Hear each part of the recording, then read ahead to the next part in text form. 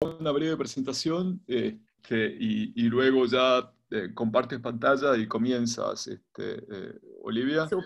Eh, bueno, Olivia es una doctora de, Santa Cruz de la Sierra, Bolivia, conocida por todos ustedes, prácticamente no necesita ningún tipo de, introducción, simplemente decir que es una amiga de todos nosotros, que hizo su posgrado en enfermedades de la retina, en, el DF en, México y desde hace un año eh, dirige el departamento de retina en su clínica en la ciudad de Santa Cruz de la Sierra. Entonces, eh, Olivia, es un gusto tenerte aquí con nosotros eh, y, gracias por aceptar nuestra, nuestra invitación y quedamos atentos a escuchar tu presentación sobre cirugía del agujero macular.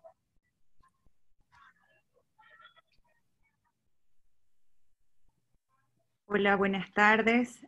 Eh, primero quiero agradecer a los organizadores eh, por la invitación. Es un gran honor para mí participar de Oftalmo Córdoba y compartir eh, con este grupo de colegas y amigos. voy a compartir mi pantalla. Por favor, confírmenme si ya estoy compartiendo. Sí, perfecto. Sí, se ve perfecto, Olivia. Super. Vamos a Voy a ampliar. Bien, el tema que les voy a presentar el día de hoy es actualización en cirugía de agujero macular. Y como introducción, eh, pues la cirugía de agujero macular dio su mayor avance con Kelly y Wendell en 1991, quienes descubrieron y eh, describieron el rol de la vitrectomía pars plana con remoción de la hialoides posterior y con esto reportaron un cierre anatómico en el 58% de los casos. Eckhart en 1997 fue quien describió el peeling de la membrana limitante interna como un medio para mejorar este éxito tanto anatómico al 92% como funcional al 73%. Y aquí la pregunta realmente es, ¿qué técnica escojo cuando tengo un agujero macular? Actualmente, eh, las tasas con la vitrectomía pars plana y peeling convencional son el estándar de oro para la cirugía de agujero macular idiopático, teniendo una tasa de éxito del 90%. Eh, es muy importante buscar ciertos factores y tener en cuenta para poder escoger la técnica que voy a usar en mi cirugía. Y para esto la tomografía de coherencia óptica sigue siendo el método más preciso para visualizar la interfase retiniana, identificar si hay tracción o adherencias vitromaculares y también medir las características especiales del agujero macular, como ser el ancho de la base, el diámetro lineal mínimo y la altura, para poder darnos mejor detalles en la técnica que voy a escoger. Como generales de la técnica quirúrgica, lo inicial es hacer una separación de la eh, membrana eh, hialoidea posterior de la retina. Esto lo hacemos con aspiración y podemos ayudarnos con triamcinolona. Eh, dentro de las tinciones se pueden utilizar una variedad de tinciones, como ser el verde indocianina, el azul brillante, el azul tripano y recientemente el ácido violeta. Yo tengo gran preferencia por el azul brillante, que es con lo que realizo generalmente eh, mi tinción. Para el peeling, el peeling se realiza mediante la técnica de pellizcar y pelar, que generalmente lo realizamos con un forceps o pinza de punta fina para membrana limitante interna. Hay ciertos instrumentos que nos pueden ayudar para el pelado eh, inicial y estos son como el Finesse Flex Loop de Alcon, el raspador de membrana con polvo de diamante de Tano y hay otros que pueden realizar también el vitreófago con eh, el peeling con el vitreófago generalmente en calibre 27. Eh, el radio que hacemos el peeling generalmente es entre 1 y 2 diámetros de disco.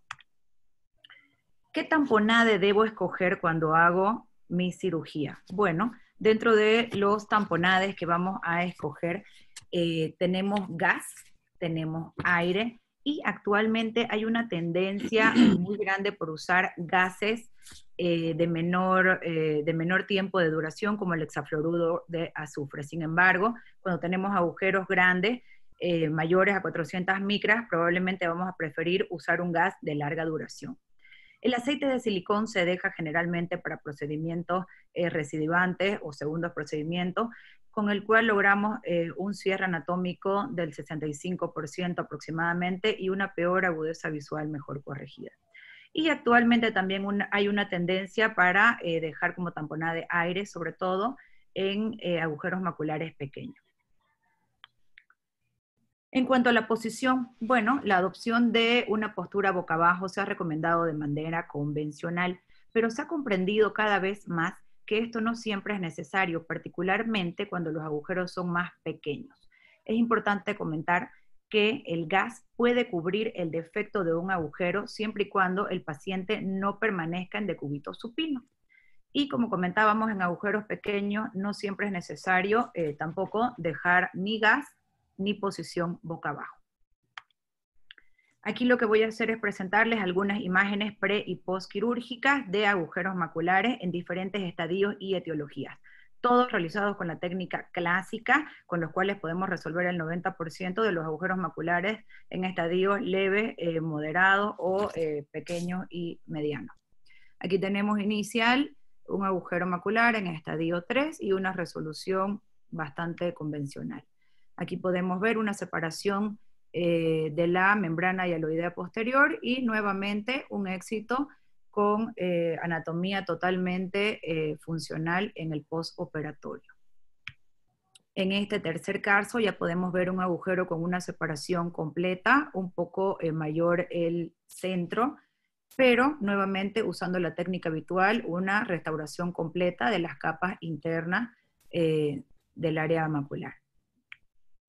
Otro tipo de casos donde ya tenemos presencia de una tracción importante y genera eh, una anatomía distinta. Fíjense cómo la reestructuración no es tan eh, bonita como la que presentábamos en el caso pasado, sin embargo logró un éxito de tipo 1 y recuperación de agudeza visual importante. Hay otro tipo de casos, fíjense aquí, en este caso, eh, me llama mucho la atención y me gusta eh, comentar cuando el pellizcado o el inicio del flap, yo generalmente trato de iniciar el flap en la zona temporal y fíjense cómo aquí dejé una zona de adelgazamiento importante. Sin embargo, eh, como fue alejada del área central, tengo aquí una reestructuración total del área foveal y no afectó para nada en la agudeza visual. Otro caso como este, que en realidad aquí les estoy mostrando el ojo derecho y el ojo izquierdo de esta paciente, en la cual presentaba una membrana epirretiniana eh, asociada con un agujero macular. Esta es la resolución en el ojo derecho. Fíjense que aquí solo realicé el peeling de la membrana epirretiniana y probablemente debía haber realizado el peeling de la membrana limitante interna.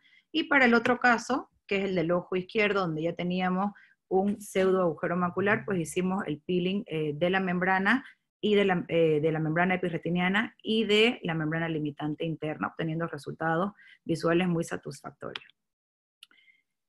Este tipo de técnica también es muy exitoso cuando tenemos otro tipo de agujeros maculares, no necesariamente los idiopáticos, sino combinados con desprendimiento de retina, como podemos observar aquí en la flecha superior en rojo. Este paciente tenía una combinación con un desprendimiento de retina regmatógeno, un agujero macular de tipo 4 con una abertura eh, central mayor a las 400 micras y podemos ver una resolución satisfactoria. Este otro caso, si se fijan, es un paciente muy joven, de 24 años, tuvo un agujero macular traumático y podemos observar las características de una base muy amplia, un agujero macular eh, que pudiera probablemente haber pensado en resolver con otra técnica, sin embargo hicimos la técnica convencional y podemos ver a los pocos meses un resultado eh, visual y anatómico totalmente satisfactorio. Sin embargo, este cierre se puede lograr en el 90% de los casos reportados en general en la mayoría de las literaturas. Pero existe una persistencia de agujeros maculares que puede variar entre el 8 y el 44%, eh, dependiendo de la literatura que tomemos. Y hay ciertos factores que son determinantes en el prequirúrgico para poder saber cómo nos puede ir en la técnica que vamos a escoger. Y estos son el estadio del agujero macular, el tamaño, sobre todo cuando agarramos tamaños mayores a 400 micras, la cronicidad del mismo, la capacidad o incapacidad del paciente para poder llevar una posición prona, si hay o no asociado una membrana epirretiniana. Y por supuesto aquí también pasamos a la siguiente eh, categoría, que son los agujeros maculares secundarios o la categoría de agujeros desafiantes, donde son los agujeros traumáticos, los agujeros asociados con alta miopía, los agujeros con esquisis macular y con desprendimiento de retina asociado. Para esto, y para mejorar este tipo de casos, es que se han desarrollado diversas técnicas eh, tratando de poder mejorar eh, los resultados quirúrgicos en estos casos que tienen sobre todo un tamaño mayor.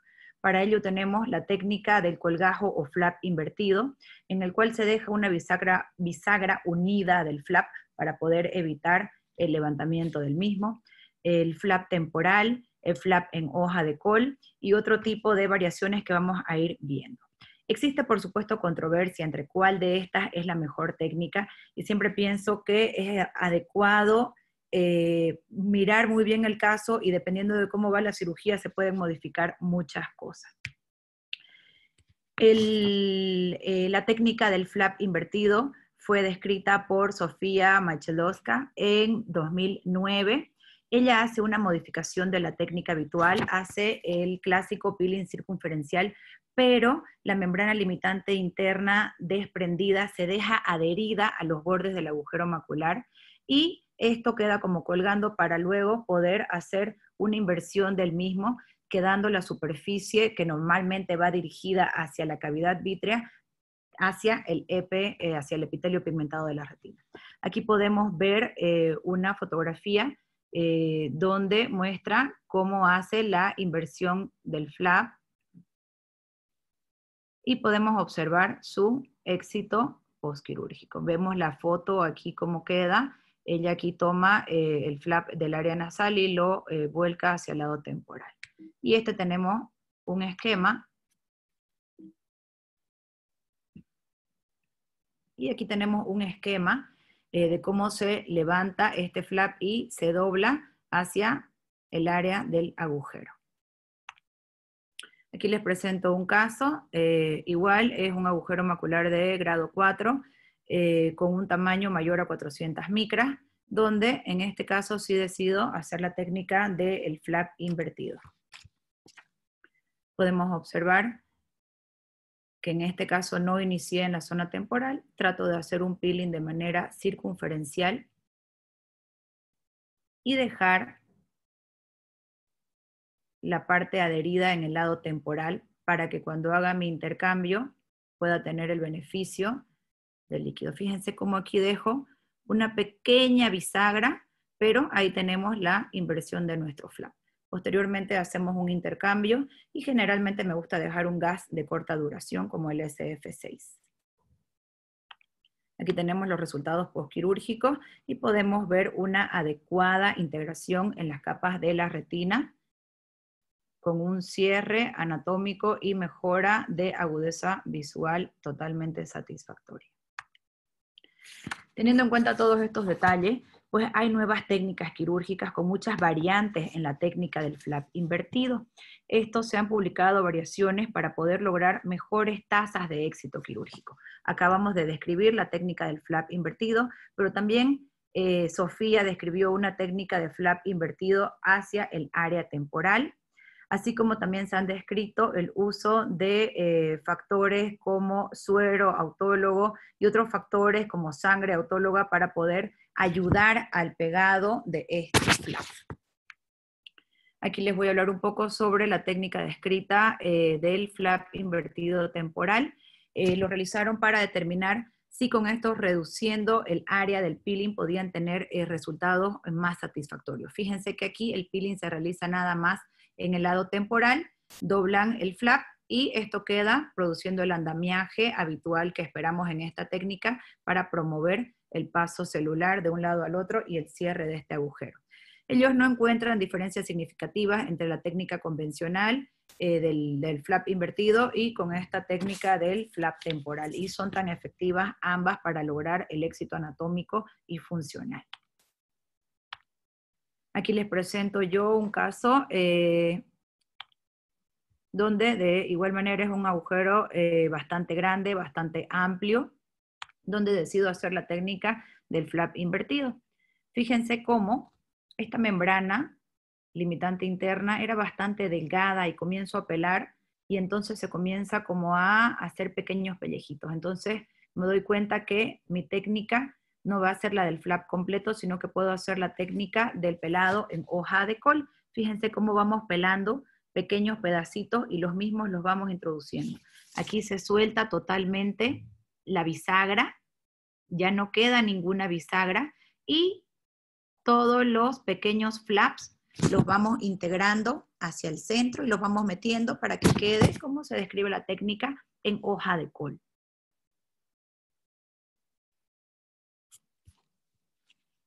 Posteriormente hacemos nuevamente el intercambio habitual y estos son los resultados satisfactorios postoperatorios con esta técnica. Fíjense cómo podemos ver aquí que alguno de eh, el pellizco pudo provocar un poquito eh, de eh, lesión, pero finalmente tenemos una adecuada integración de todas las capas de la retina con éxito anatómico y funcional.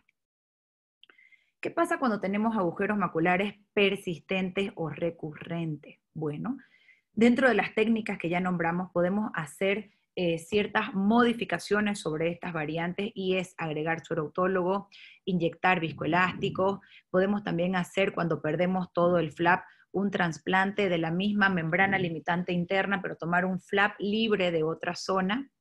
También se puede utilizar eh, cápsula de cristalino. Y bueno, vamos a describir ahorita dos casos.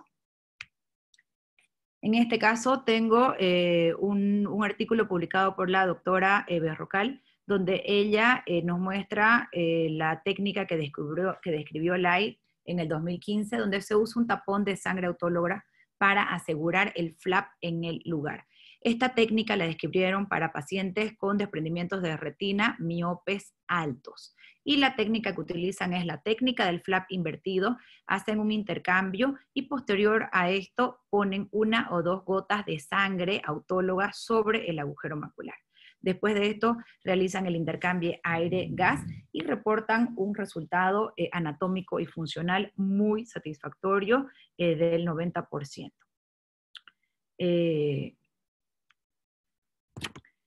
Aquí tengo también, eh, abriendo un poco ya un capítulo diferente, cuando no tengo de dónde tomar un flap para poder hacer un flap invertido, entonces pienso en hacer un implante eh, para un andamio de proliferación de células gliales. Estos implantes pueden ser eh, un implante libre como membrana amniótica. La membrana amniótica es una película biocompatible que puede promover el cierre del agujero macular actuando como una membrana basal. Ha demostrado excelentes propiedades de soporte para el crecimiento de las células del epitelio pigmentario de la retina, induciendo proliferación y diferenciación de las mismas. Ya se han reportado eh, por supuesto, son pocos los casos reportados, pero sí éxito en ocho casos recurrentes con agujero macular y seis casos con desprendimiento de retina publicados por Rizzo. Y Caporosi también describió la eficacia de este andamiaje con eh, pacientes eh, miopes patológicos. Aquí les voy a presentar eh, una cirugía en agradecimiento del doctor Alejandro Lavaque, quien fue quien nos proporcionó este hermoso video.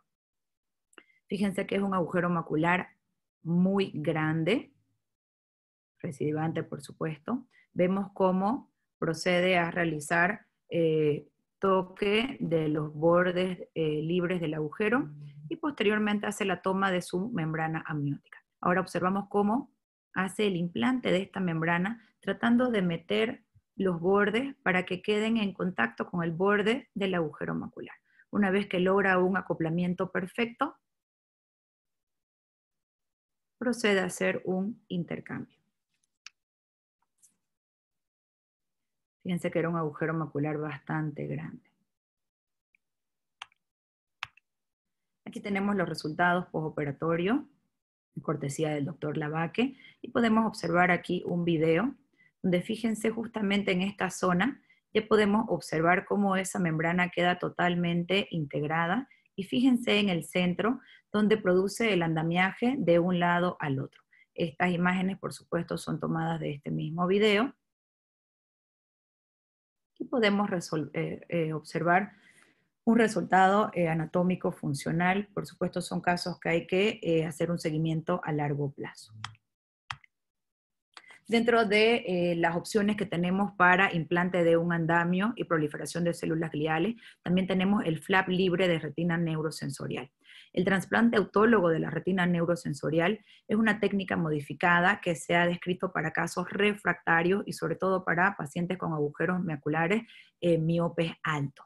La hipótesis es que la retina neurosensorial, que es similar a la membrana limitante interna, puede funcionar como un andamio y ayudar a sellar el agujero formado, eh, formando un tapón macular. Este caso es del doctor Virgilio Morales, y es una cirugía de un agujero macular eh, recidivante. Vemos que era un agujero macular grande de aproximadamente 900 a 1000 micras y en este caso eh, se realizan cuatro puntos de cautorización. Para evitar el sangrado se sube la presión a 50 y con una punta de Medwan calibre 41 se realiza una vesícula de la retina. Posteriormente utilizamos una tijera para poder, eh, tijera vertical para poder cortar el flap y de esta manera tenemos nuestro flap. Vamos a eh, tratar eh, de no incluir la parte cauterizada en el corte del flap y se deja un pedúnculo remanente hacia la retina del lado distal para poder adherirlo. Posteriormente, vemos que bajo líquidos pesados hacemos un, eh, el movimiento o el traspaso de este tejido podemos utilizar el flex loop que intenta de alguna manera mover o podemos eh, desplazarlo con este instrumento de la marca Catalyst, el Maeno O, que tiene una punta con un material tipo plástico, como si fuera una oliva que nos ayuda para hacer este desplazamiento. Posteriormente, en este caso, el doctor Morales eh, deja el ojo con líquidos pesados para, eh, posterior a dos semanas, poder realizar un intercambio. Vemos aquí a la semana posquirúrgica eh, una foto donde podemos ver eh, la retina aplicada y en una tomografía podemos ver nuevamente eh, que se observa una aplicación de estas capas y podemos ya notar un cierre del agujero. Hemos hablado un poquito de todas las técnicas, por supuesto, pues, por cuestiones del tiempo, voy a hacer en este cuadro un resumen. Me gustó mucho porque de alguna manera podemos dividir los agujeros maculares en primario o el, área de agujeros maculares persistentes o recurrentes. Y como comentamos desde un inicio, los agujeros maculares eh, de tamaño pequeño o mediano, eh, podemos realizar una técnica de vitrectomía eh, pars plana con un peeling convencional, pudiendo utilizar aire o un gas de corta duración.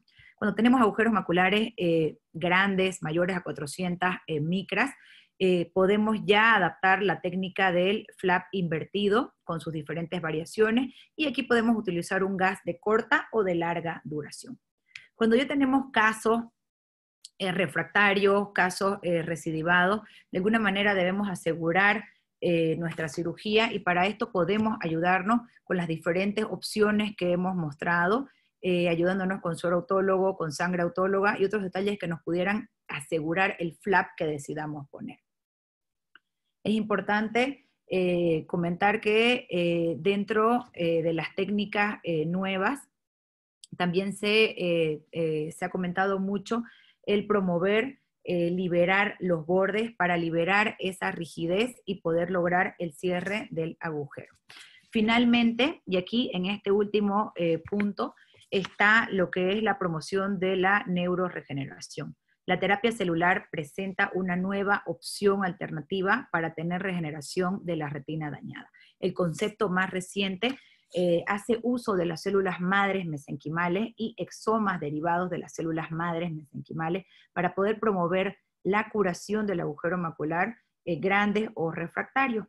Eh, estas células madres se aíslan de tejido de cordón umbilical y eh, la técnica, por supuesto, es muy moderna. Se, eh, aplica una vez que se realiza el, flap y se deja caer estas células madres mesenquimales eh, en el agujero y posteriormente se realiza el intercambio habitual. Por supuesto, la, la técnica es muy moderna, hay riesgos y hay beneficios y de, de alguna manera requerirán el tiempo para que podamos determinar qué tan beneficiosa puede ser esta técnica. Finalmente les comparto, como les digo, esta tabla que me ha servido de mucho para poder decidir qué técnica utilizar y de alguna manera eh, optar por las diferentes eh, opciones de del peeling, del gas y de posicionamiento. Gracias. Olivia, muchísimas gracias. La verdad que eh, espectacular la, presentación, me encantó. Muy, muy completa, ¿eh? muy completa. Eh, los videos muy bonitos. Quería hacerte dos, en realidad una pregunta. Me gustaría que nos contes sobre la preferencia en el sistema de visualización para la realización de, la cirugía del agujero y además cuál es tu force eh, ideal para, para, para, realizar este tipo de cirugía, ¿verdad? Eh, en relación al sistema de visualización, quisiera saber si utilizas eh, lupas de contacto o, un sistema de campo amplio de no contacto con la lente de, de magnificación. Y en los videos vi que en uno de ellos quizás tu pinza de preferencia.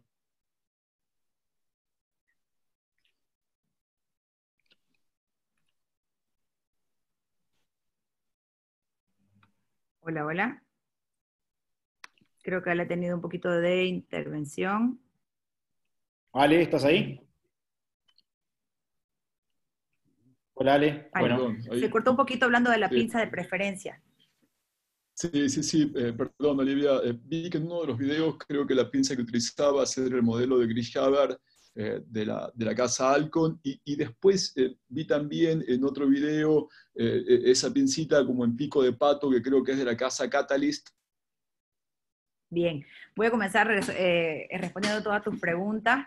definitivamente el sistema de visualización es sumamente importante. Se sabe que el mejor sistema de visualización es el que va de contacto. Yo por escuela eh, aprendí eh, toda la cirugía de retina eh, con sistema de campo amplio, yo aprendí con el EIBOS y actualmente utilizo el ReSight, que me encanta. Tiene dos tipos de lupas, una lupa amarilla que es para el campo amplio y una lupa verde que es la que te da un enfoque en el área macular. Si te das cuenta en los videos que presenté, realmente utilizo siempre la lupa amarilla, la de campo amplio, porque puedo acercarme hasta el punto donde necesito y no necesito usar ni siquiera la verde que es del, campo de, del área macular.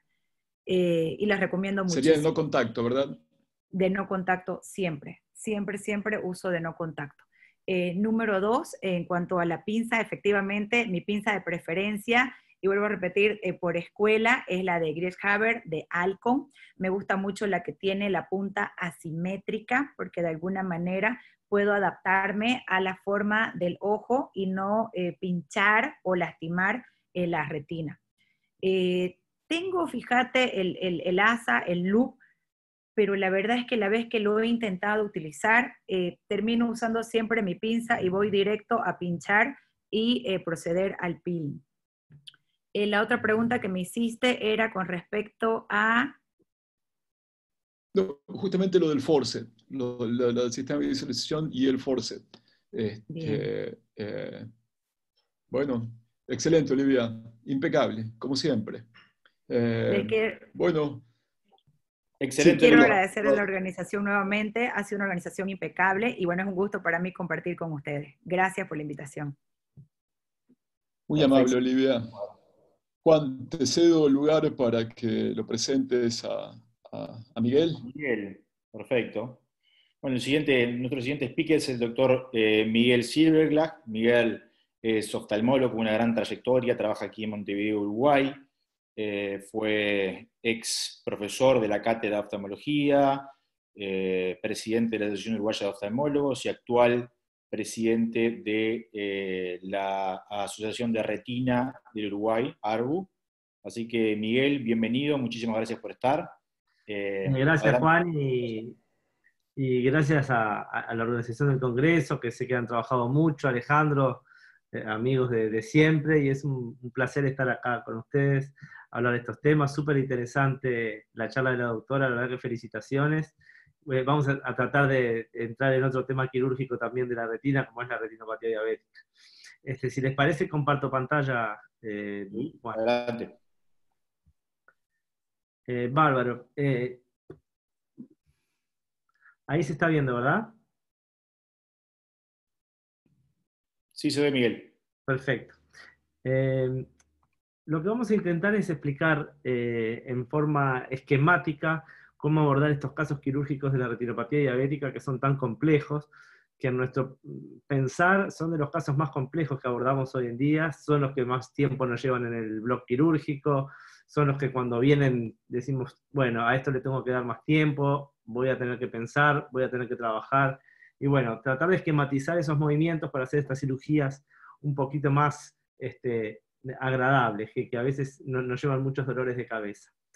Eh, en cuanto a esta cirugía, nosotros siempre queremos pelar las membranas, la hialoides, todo, pero en realidad no en todos lados se puede hacer esos pelajes y hay lugares donde hay unos anclajes fuertes, donde están eh, los brotes neovasculares, donde sabemos que si teníamos fuerte podemos generar desgarros iatrogénicos. Tenemos que ser muy cuidadosos. Globalmente, en el área donde vamos a poder pelar, sobre todo en el área entre las arcadas, en el área macular, y por fuera de estas arcadas vamos a utilizar más bien el decolamiento y el corte para poder manejarnos eh, en estas retinas tan problemáticas. En cuanto a esta cirugía, ¿qué es lo que podemos hacer? Podemos pelar, podemos decolar y podemos cortar. Entonces, para pelar, en general nosotros vamos a utilizar las pinzas, que se han mostrado en, otros videos. Nosotros en general para pelar usamos la delimitante, pero también si vamos a pelar, eh, digamos, hialoides, se pueden usar eh, forceps como el Max Grip u otros que tengan un mejor agarre.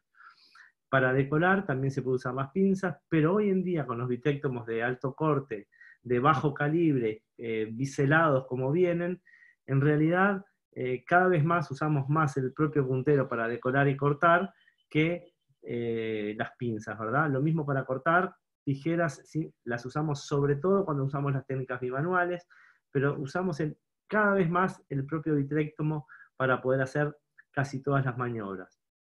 Lo otro es no olvidarnos el rol de los antiangiogénicos previos en estas cirugías que nos pueden ayudar muchísimo, darlo dos o tres días previos, como si se vieran los trabajos donde no aumentamos los riesgos de tracción, y sí disminuimos mucho los riesgos de sangrados intraoperatorios. Entonces, el primer paso cuando abordamos estos pacientes eh, para nosotros es, bastante importante esto que parece algo quizá que no lo sea, pero es remover la hialoides anterior. ¿Y por qué es importante? Porque la hialoides anterior, en cada sangrado que tienen los pacientes, se impregna con sangre. Entonces, a veces un pequeño sangrado en un paciente, que es muy frecuente que resangren, nos tiñe la hialoides anterior y no nos deja ver nada para atrás. Entonces, ni al paciente lo deja ver, ni a nosotros nos deja controlar el fondo de ojo. Entonces, a veces el hemovitrio se reabsorbe bastante rápido, pero la hialoides persiste impregnada por mucho tiempo, y entonces eso nos impide ver y poder seguir al paciente. Entonces pensamos que es importante, el primer paso que vamos a hacer cuando entramos al ojo es remover la hialoides anterior. Esto es muy fácil cuando el paciente es pseudofáquico, donde además siempre aprovechamos hacer una capsulotomía quirúrgica para ya no tener más problema con, con la transparencia, pero es bastante más complejo cuando el paciente se presenta con su cristalino. Aquí se muestra la hialoides anterior, lo hacemos mirando desde el microscopio, no precisamos poner ningún sistema de visualización para esto, y ahí como ven, estamos realizando este, una apertura de la hialoides anterior, que no precisa que sea muy amplia. Removiendo la hialoides detrás del centro del cristalino, 5 o 6 milímetros, es suficiente. Aquí se muestra el borde, cómo quedó eh, la hialoides anterior, el borde del que generamos desde adelante. Sin embargo, como dijimos, tenemos que ser cuidadosos y no excedernos este, en esta limpieza de la hialoides anterior, porque claro, uno empieza a, llevársela y dice, qué lindo me estoy llevando, estoy liberando tracciones al mismo tiempo, este, pero ahí estaba bastante limpio ya, yo no tenía necesidad de seguir y vieron que se generó un, un toque de la cápsula posterior. Eh, no tenemos la certeza ahí si se rompió o no la cápsula posterior, a veces simplemente es un, vacío que genera el vitrectomo, pero ese paciente ya no lo podemos dejar así, tenemos que ir a remover el cristalino, sabemos que si está abierta la cápsula posterior, se va a generar indefectiblemente una reacción inflamatoria en el ojo, que no es lo que nosotros queremos. O sea que hacerlo con cuidado es muy importante y nos va a dar buenas cosas para, los seguimientos de estos pacientes. El segundo paso es la circuncisión, que es realizar eh, un corte de la hialoides a nivel del ecuador, los 360 grados. ¿Y para qué? Para cuando esto nos va a servir, para cuando hagamos las maniobras de decolamiento de la hialoides posterior y evitar tracciones y la segmentación, no traccionar en la periferia y generar desgarros periféricos en estos pacientes. Entonces acá mostramos uno de esos casos.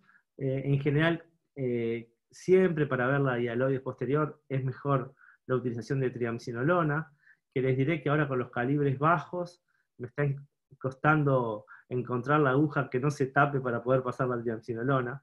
Este, hay que batirla muy bien para que no se tapa, para que no se tape. Este, pero bueno, eh, aquí como ven se muestra la circuncisión generada, los 360 grados para evitar, aquí como ven, quedó la hialoides para poder empezar a decolar en el polo posterior. En el tercer paso, lo que vamos a hacer, una vez que tenemos la circuncisión y removimos la hialoides anterior, es hacer el decolamiento o el desprendimiento de la hialoides posterior este, para poder liberar alrededor eh, de lo que son los brotes neovasculares, y es lo que se llama la segmentación. Tenemos que tener mucho cuidado en el nacimiento de los brotes, porque ahí, digamos, hay veces que podemos decolar y hay veces que no podemos decolar y tenemos que segmentar. Entonces tenemos que ser cuidadosos y yo siempre prefiero, eh, ante la duda, no traccionar, eh, cortamos alrededor y sabemos que ahí estamos eliminando la tracción y no generar un agujero iatrogénico en la retina. Entonces, eh, aquí mostramos las maniobras, que en este caso únicamente con el vitrectomo, en este caso todavía no teníamos, es, 25G, pero todavía no teníamos los vitrectomos biselados, que la verdad este, nos permiten eh, llegar mucho más fácil todavía a esta hialoides y al espacio que queda entre la hialoides y la retina. Aquí como vamos, como vemos, eh, alternando ciclos de corte y corte de aspiración, solo con la aspiración tomamos y podemos decolar eh, y podemos tener un buen agarre con el vitrectomo. No olvidarnos hacer una buena cauterización en los brotes neovasculares para evitar sangrados posteriores. Ahí, como ven, seguimos traccionando, ya liberamos la periferia, pero ahí vieron como hay brotes neovasculares que tenemos que ser muy cuidadosos, porque si seguimos tironeando, vamos a generar un desgarro y eso es peligroso. Digamos que igual generamos una fotocoagulación, pero de todas maneras después podemos generar desgarros. En este paciente después se completó, como vamos a ver más adelante, eh, con un peeling macular eh, y con una fotocoagulación. Aquí otro caso donde tenemos que utilizar una técnica bimanual.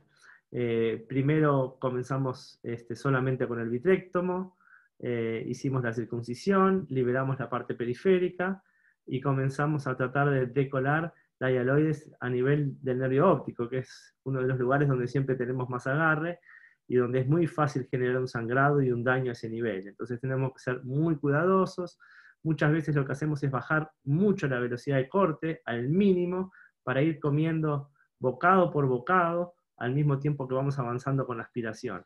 Ahí cambiamos eh, a la pinza porque el agarre era muy fuerte y finalmente colocamos un, candelabro para poder utilizar la técnica bimanual, porque ya era, no podíamos seguir tironeando. La técnica bimanual permite generar mejores planos y a medida que vamos avanzando, separar mejor los planos y más que cortar, ir decolando con la tijera sobre el plano de, la hialoides más que sobre la retina. De todas maneras, en estos casos eh, es muy fácil generar desgarros diatrogénicos, pero si nosotros liberamos bien las tracciones, tenemos eh, muchísimo menos chances de, que esto genere un desprendimiento de retina después eh. Y por supuesto, estos pacientes no hay chance de que no queden con aceite en general. Eh, son pacientes muy complejos. Si bien siempre que podemos vamos a preferir el gas, en este tipo de pacientes es muy difícil dejarlos con gas. Aquí hicimos una retinotomía para drenar el, líquido subretinal, que como vieron era bien espeso, viejo en estos pacientes. Lo estamos haciendo bajo aire ahora. Y finalmente hacer un láser alrededor de la retinotomía y un intercambio con aceite. Eh, el cuarto paso sería el pelaje de las membranas epirretinianas, que en general tienen estos pacientes y si podemos también la limitante interna. ¿Para qué? Para tratar o prevenir el edema de mácula que muchas veces vienen asociados en estos pacientes. Como ven en este paciente, eh, probablemente con un muy mal control metabólico, lleno de exudados duros en el polo posterior, eh, generamos un peeling de la limitante interna como usualmente lo hacemos. Sin embargo, en estos pacientes muchas veces la fragilidad de los tejidos es diferente y muchas veces no podemos hacer un peeling normal y se va como desgranando la limitante interna y es bastante más difícil hacerlo.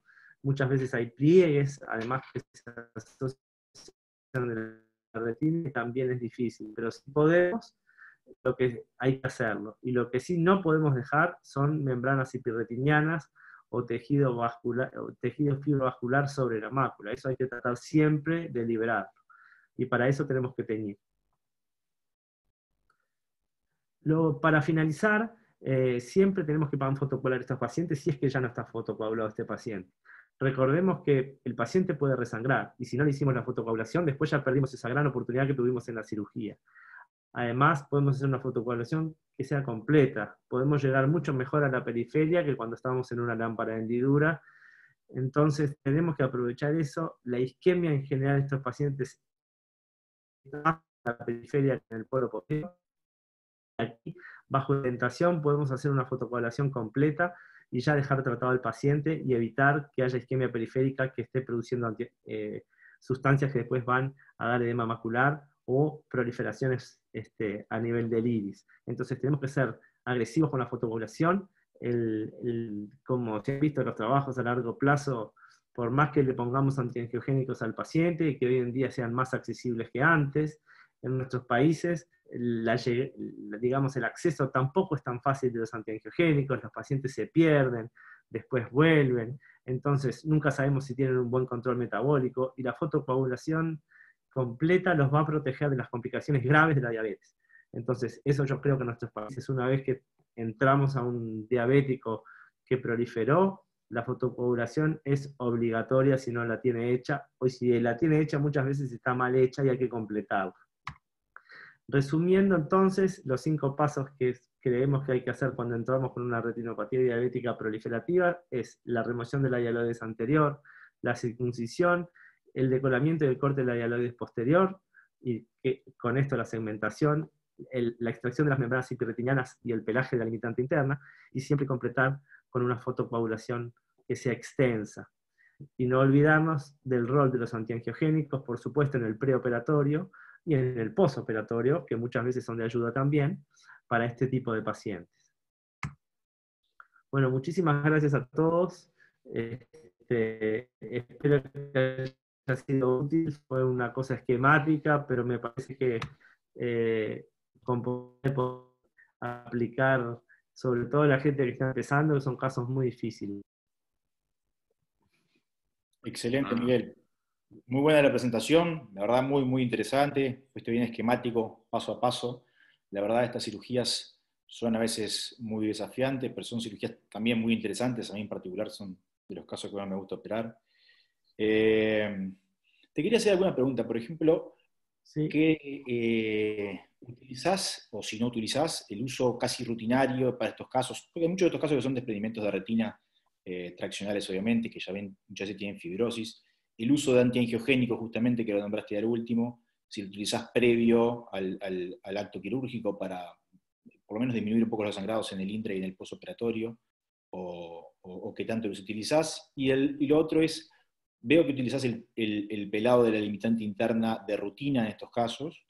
Eh, si, verdaderamente lo utilizás en todos los casos, o hay casos que pensás un poquito en dejarlos, o y lo otro es el tema de la facomulsificación, ¿ah? eh, porque mostraste al comienzo justamente el, pelado, la, vitrectomía anterior, con los riesgos que puede justamente tener, y hay muchos de estos casos que son pacientes ya con edad avanzada, y ya tienen su catarata, o la van a desarrollar después, y a veces se puede considerar también el uso combinado, ¿no? ¿Qué opinión te merece eso, Miguel? Eh, bueno, a ver, vamos con la primera pregunta. Los antiangiogénicos previos, siempre que se pueda, es lo ideal. Viste que muchas veces los pacientes vienen a veces del interior del país, te llegan de otros lados y a veces es difícil la coordinación de la inyección eh, dos o tres días previos a la cirugía, que es lo ideal. Entonces, este, a veces se puede, a veces no se puede.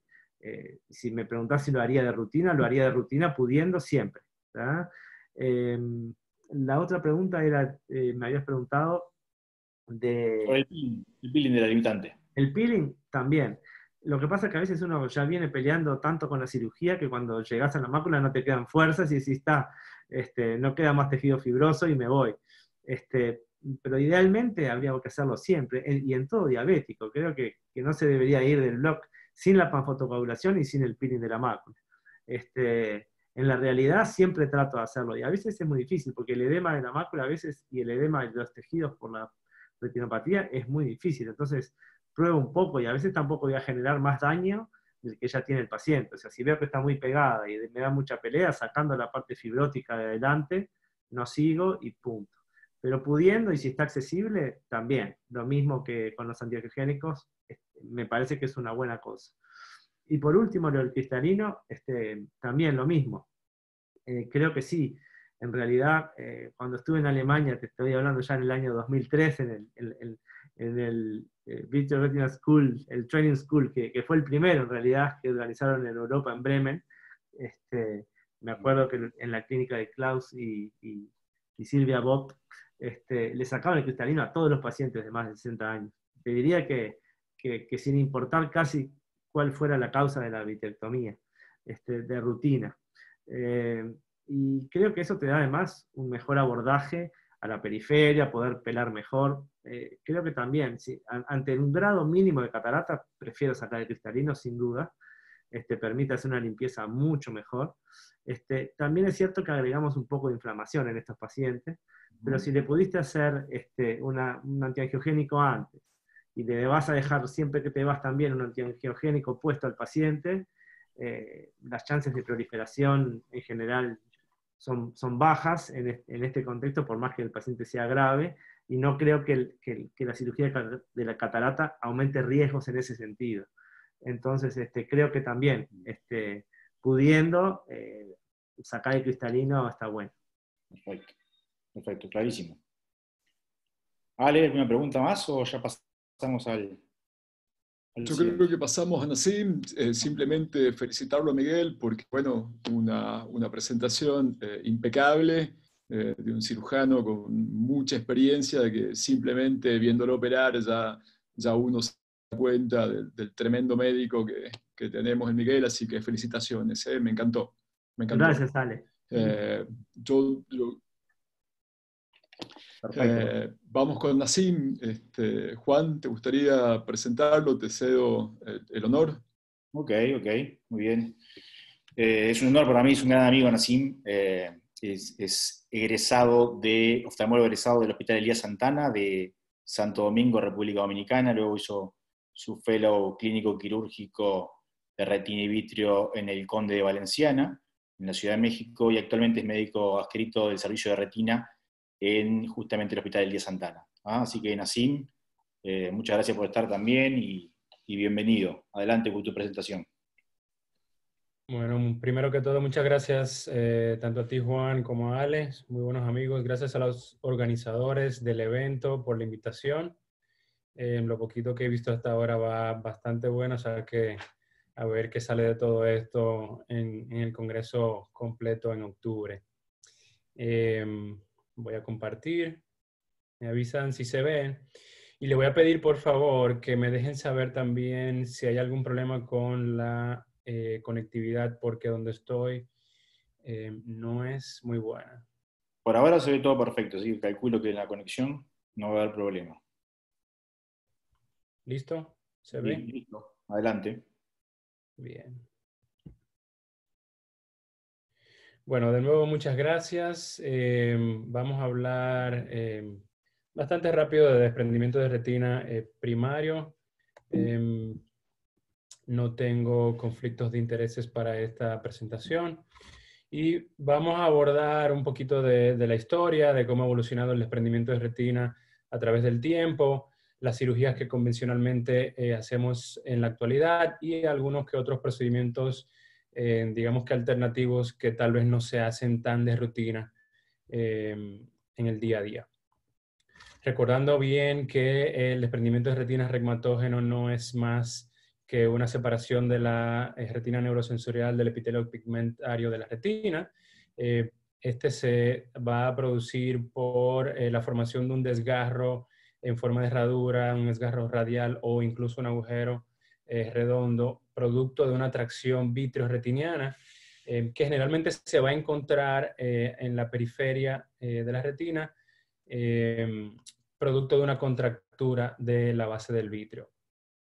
Ya pasando rápidamente a lo que es una breve historia, sabemos que desde inicio del siglo pasado aprendimos que necesitamos comenzar a tratar estos desgarros y principalmente estimular lo que era el EPR, que en aquel entonces se hacía con una aguja, se llamaba una ignipuntura, donde lo que, lo que hacían era eh, calentar eh, la aguja, atravesar el hacia el espacio subretiniano y em, quemaban el desgarro para así producir posteriormente em, una adhesión eh, retiniana y la formación de una cicatriz para resolver el desprendimiento si bien es cierto que fue un, un, hallazgo importante y, un avance en el desarrollo de esto, del tratamiento del desprendimiento, la verdad es que la tasa de éxito de esto era muy baja, de eh, más o menos un 50% eh, de los pacientes mejoraban. Eh, ya más adelante en, en, en Europa, Custodis implementa lo que es el cerclaje escleral y un par de años más, en el 51, Skepen se encarga de eh, añadirle, aparte del cerclaje, la localización de, los, de las lesiones mediante la eh, vino, eh, oftalmoscopía binocular indirecta y así poder tener un, un, mejor abordaje del tratado de estas lesiones.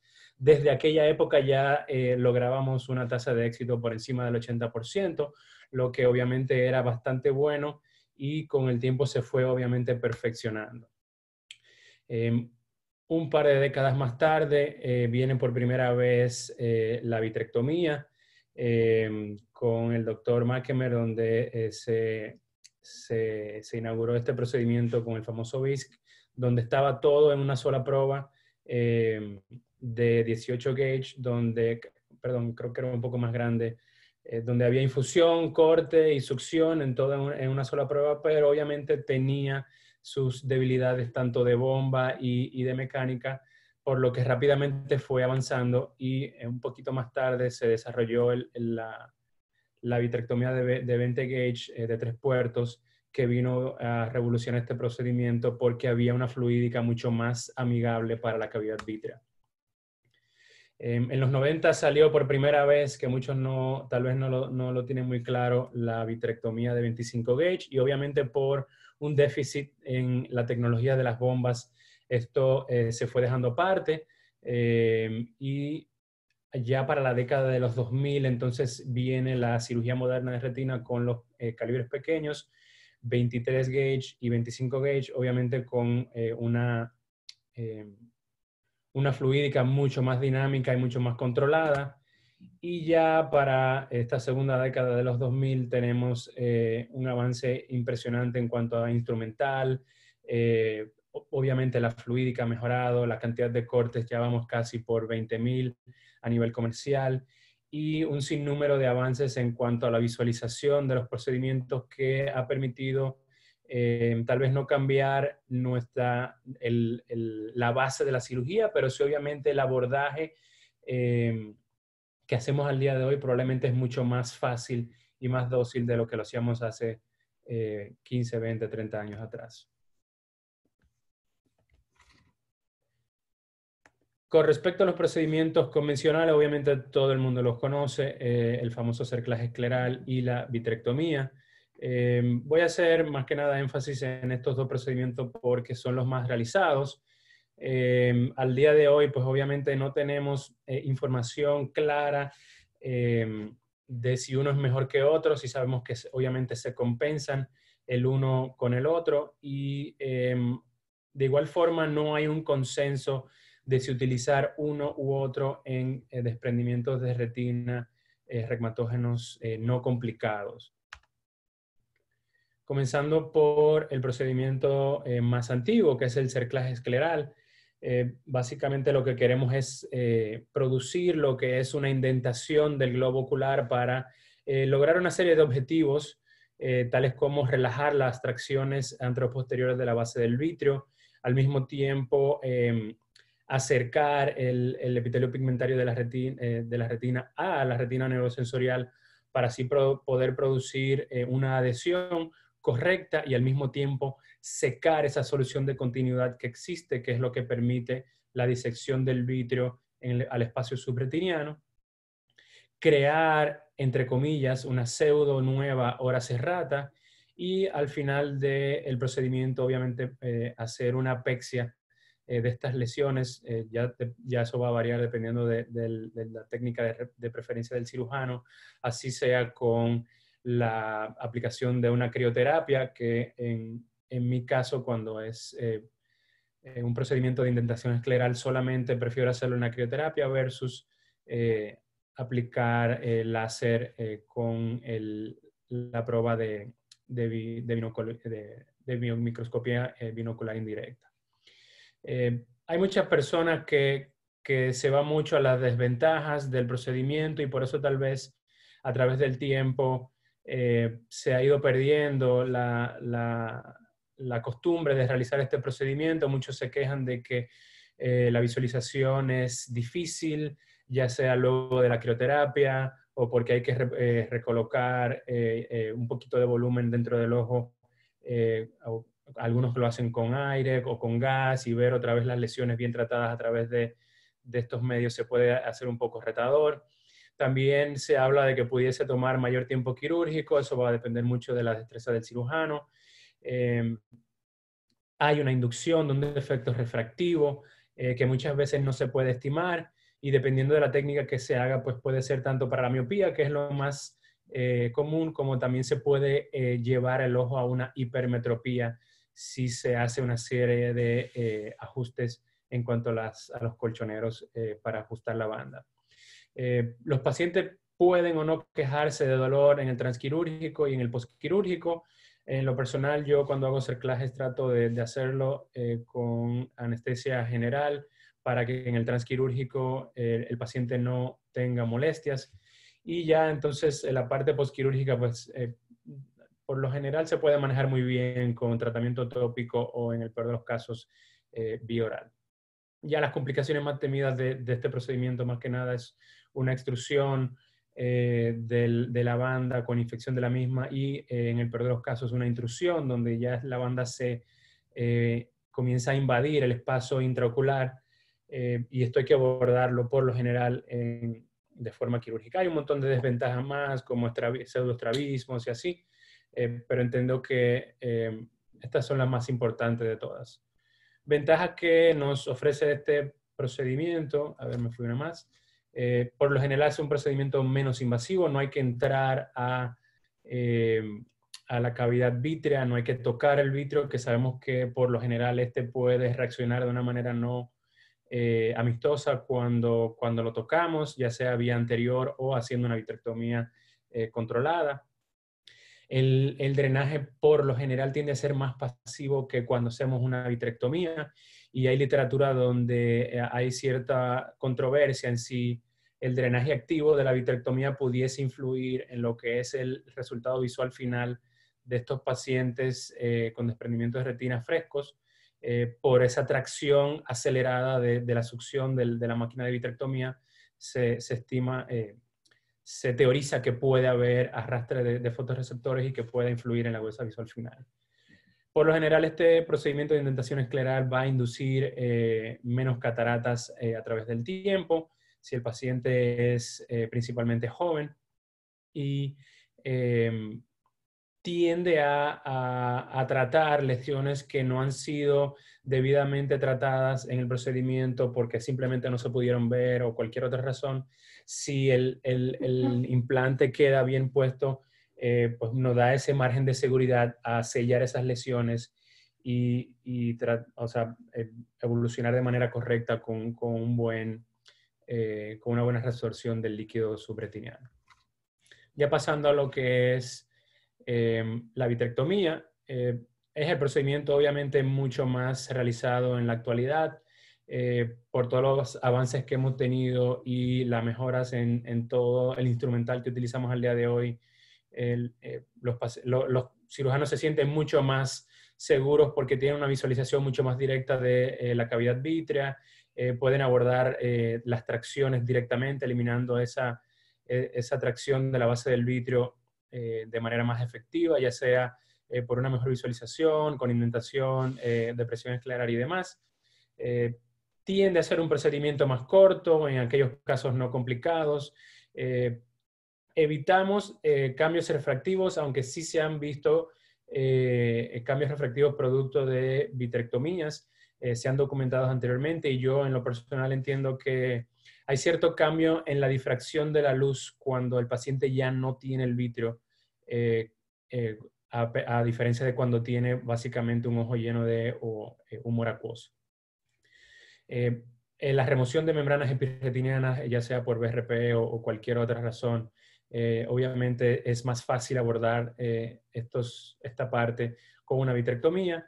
El drenaje del líquido subretiniano puede ser un poco más efectivo por el auxilio eh, de, los, líquidos pesados y demás.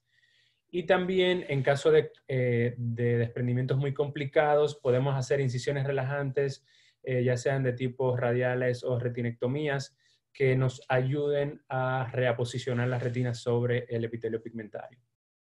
Como desventajas, sabemos que el 50% de los pacientes sometidos a una vitrectomía en el primer año van a desarrollar cierto grado de catarata y casi un, 80% eh, a los dos años ya tienen eh, grados por lo menos iniciales si no tenían anteriormente. Eh, en pacientes jóvenes, por debajo de 40 años, y obviamente mientras más jóvenes, la realización del desprendimiento del vitrio posterior se puede hacer muy difícil y, e incluso pudiese complicar el caso si uno insiste demasiado y, no viene y no viene, pudiésemos lesionar la retina eh, con desgarros aún peores de los que ya tiene. Eh, se puede lesionar el cristalino en pacientes fáquicos si no tenemos un adecuado abordaje, eh, donde pudiésemos incluso romper la cápsula posterior y no, no, darnos cuenta en el momento de la cirugía y luego entonces el paciente tener que someterse de nuevo a cirugía para remover esta cápsula inducida por ruptura de la cápsula, remover esta catarata inducida por ruptura de la cápsula posterior con el, con el vitrector. Y también, eh, como les comentamos anteriormente, sabemos que el vitrio puede o no reaccionar eh, de manera eh, no, no favorable para el paciente cuando es tocado. Entonces, a pesar de que hagamos una buena remoción de todo el vitrio, sabemos que no podemos remover todo el vitrio que se encuentra a nivel de la base del vitrio. Entonces, ese poco de vitrio que pueda o no quedar ahí pudiese generar redesprendimientos posteriores eh, producto de la, contractura que va a haber eh, a nivel de la base vitrea eh, luego de una vitrectomía.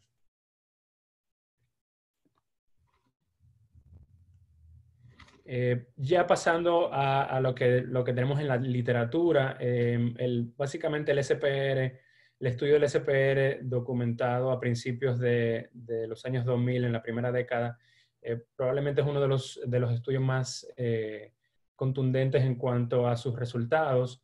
Eh, ellos se, se, propusieron evaluar la diferencia de los procedimientos de vitrectomía versus cerclaje escleral en pacientes con desprendimiento de retinas regmatógenos no complicados.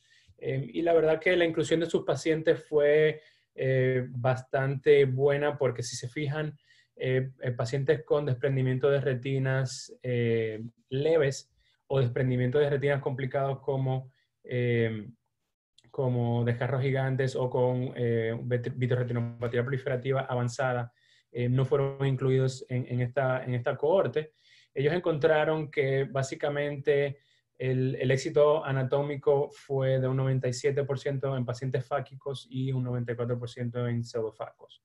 Em, las ventajas que vieron en el grupo de los pacientes fáquicos fue que había una, mejor, eh, una mejoría de la tasa de éxito cuando había un cerclaje eh, involucrado en el procedimiento, cuando habían lesiones únicas em, y eh, que estas fueran de bordes irregulares y que obviamente que estas eh, lesiones fueran tratadas eh, ya sea con crioterapia y drenaje, obviamente, del líquido subretiniano.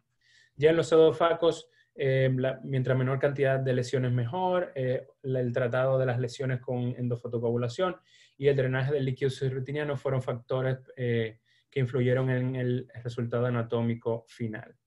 Este mismo grupo, eh, un poco más adelante en el 2007, em, hizo un estudio muy parecido y eh, concluyeron que aquí sí hubo una diferencia significativa en cuanto a las agudezas visuales en, los fáquicos y casualmente todo paciente que tenía un cerclaje por lo general iba a tener una, mayor, una mejor agudeza visual versus lo que, los que no tenían eh, un cerclaje escleral.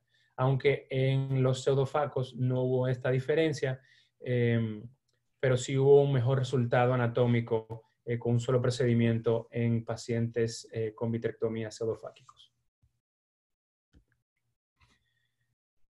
Em, estos dos estudios son básicamente los estudios más recientes que hablan sobre, eh, sobre el tema. Es, aunque no son estudios prospectivos como los anteriores, este, grupo de, del doctor Regilo en, Estados Unidos eh, publicaron esto ahora recientemente, en creo que mayo, y no me acuerdo cuándo sale el reporte número 3.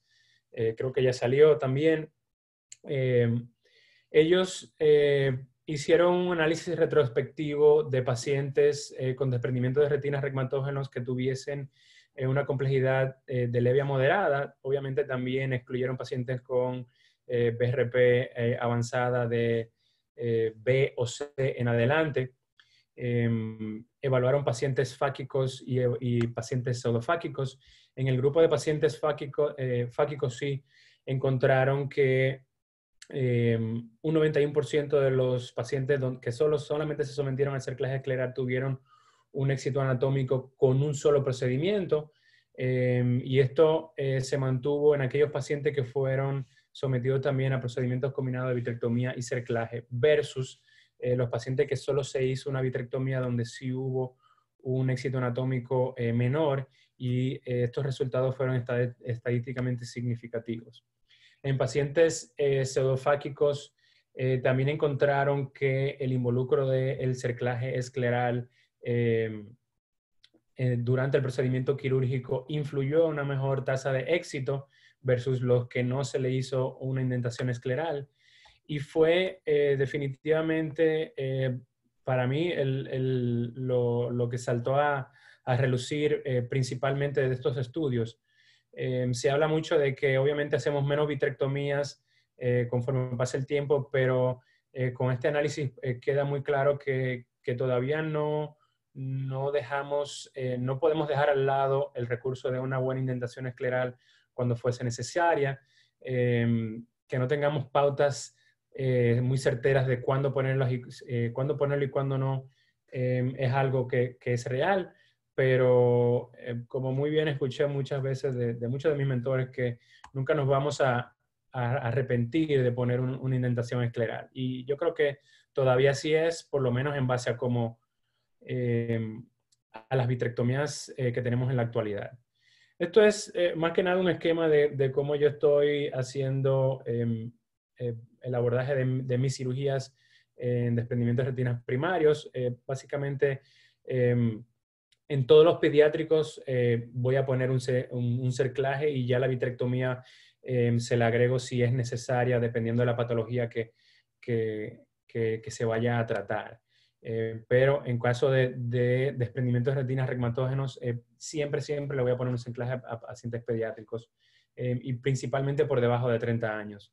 Em, en pacientes que sean menores de 40 años, todo va a depender de si el si el desprendimiento es retinogénico versus vitriogénico. Si es retinogénico, por lo general em, me voy, a, me voy a, inclinar más por una vitrectomía, em, siempre y cuando no sea obviamente un desprendimiento complicado con una, con una vitroretinopatía proliferativa em, grado C2 en adelante, donde sabemos que obviamente la, la relajación de esa retina periférica anterior eh, no se va a dar siempre solo con la vitrectomía, sino que muchas veces vamos a tener que intentar el globo escleral para poder eh, reposicionar eh, la retina en su lugar. Ya si es vitriogénico, pues obviamente el, mismo ojo te dice que hay un problema a nivel vitrio y por lo general el cerclaje en pacientes jóvenes em, le va a ir muy bien. Y obviamente, pues en casos más avanzados donde ya hay que comenzar a retirar membranas epiretinianas, em, hay que em, obviamente, eh, combinarlo con una vitrectomía.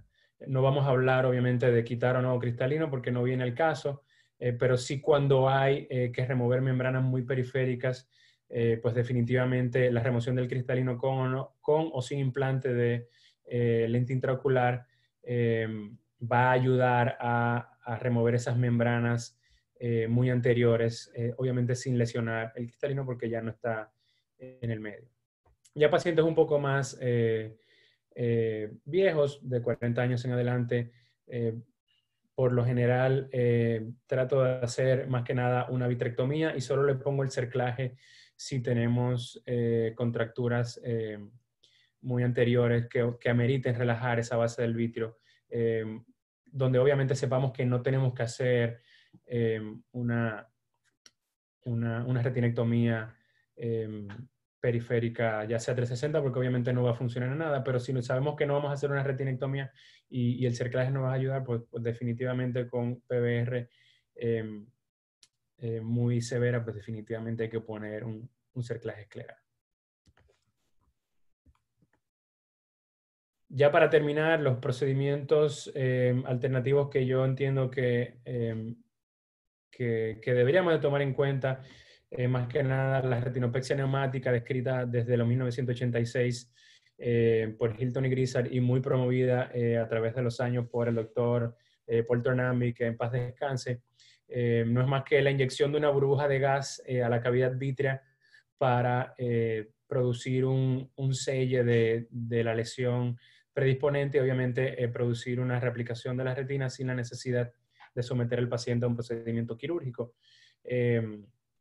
La verdad, esto es una, es una técnica eh, bastante buena. Yo no tengo tanta experiencia. Yo, en los poquitos que he hecho, entiendo que eh, lo más importante a la hora de hacer estos procedimientos es la elección del paciente, eh, tanto la, localización de la lesión como la elección del paciente, porque es muy dependiente de posición de la cabeza.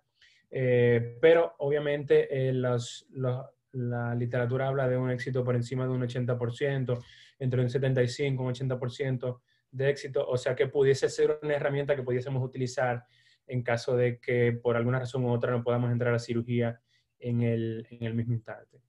Eh, tiene una desventaja que no podemos incluir pacientes con lesiones eh, inferiores, obviamente por eh, la dependencia de, de, la posición de la cabeza, pero pacientes que tengan lesiones temporales o mediales se pueden incluir porque obviamente podemos tenerlos acostados para así hacer eh, una replicación de, esa lesión predisponente. También tenemos em, la famosa indentración supracoroidea. Esta, es un procedimiento donde eh, lo que hacemos es eh, disecar el espacio supracoroideo eh, e introducir dentro de, este espacio virtual un material viscoelástico para producir una indentación por debajo de la lesión predisponente y así entonces eh, tanto promover la salida del, líquido supretiniano como eh, la posición de las retinas sobre esa indentación. mediante la aplicación, mediante el uso básicamente de esta en punta de, oliva eh, podemos hacer una disección del espacio supracoroideo con mayor facilidad y eh, podemos utilizar cualquier, cualquier tipo de viscoelástico. Esta técnica descrita por Ihab en, en Egipto, em, él actualmente lo que está haciendo es una, ¿cómo se llama? Eh, la inyección de Hilon 5, que lo que va a durar ahí son de dos a tres semanas y él dice que con esto es suficiente. Entonces, sellamos la lesión, hacemos una aspexia de la lesión con crío, em, eh, hacemos la disección del espacio supracoroideo y le inyectamos em, el material viscoelástico. Nosotros también tenemos experiencia tanto con el Hilon 5 y con em, lo que es ácido hialurónico con crosslinking. Por lo general, el, el, ácido hialurónico lo que va a hacer es que va a durar más tiempo dentro del ojo y cuando tiene crosslinking eh, aún un poquito más y se ha visto que más o menos incluso hasta tres meses puede durar la indentación visible eh, de manera clínica. Muchas gracias de nuevo a todos por la invitación eh, y nos vemos pronto en la, en, la reunión eh, física. Perfecto, Nassim. Muy bien, muchísimas gracias, la verdad. excelente, fuiste muy claro con todos los conceptos. creo que la eterna discusión de eh, vitrectomía versus cerclajes, creo que lo dejaste muy claro, no hay que entrar mucho eh, en eso y tampoco tenemos mucho tiempo, ¿verdad, Alejandro? Con el tema de preguntas, creo que vamos a pasar al siguiente speaker, que es el último speaker. Eh, pero bueno, al, igual que vos, Nacim, tengo ese concepto de cuando estamos en el limbo eh, entre una cosa y la otra, utilizo la vieja enseñanza del doctor Federico Graue, nunca te vas a arrepentir de colocar un cerclaje. así que bueno, muchísimas gracias por la presentación. a ustedes por la invitación. Vamos a pasar con Quique, ¿estás ahí?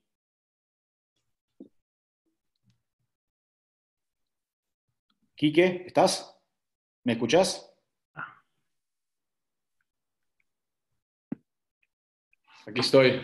Perfecto, perfecto. Bueno, doctora Lisa eh, es eh, oftalmólogo, eh, retinólogo, se formó en el Conde de Valenciana, hizo su fellow de retina también en Conde de Valenciana y también fellow de oftalmología pediátrica, retina pediátrica en Los Ángeles, eh, y es actualmente profesor adscrito del servicio de retina del Conde Valenciana, y fue mi profesor también. Así que, Kike, es un honor para mí eh, tenerte acá. Eh, Todo gusto, amigo.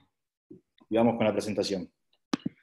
Ya, nada más que no encuentro dónde va lo de, lo de mandarlo. Compartir pantalla ahí en, en el medio abajo. Ya, ya, ya. Listo, tienes razón. Ahí se ve bien. ¿Listo? se ve bien? Sí. Dame un segundo.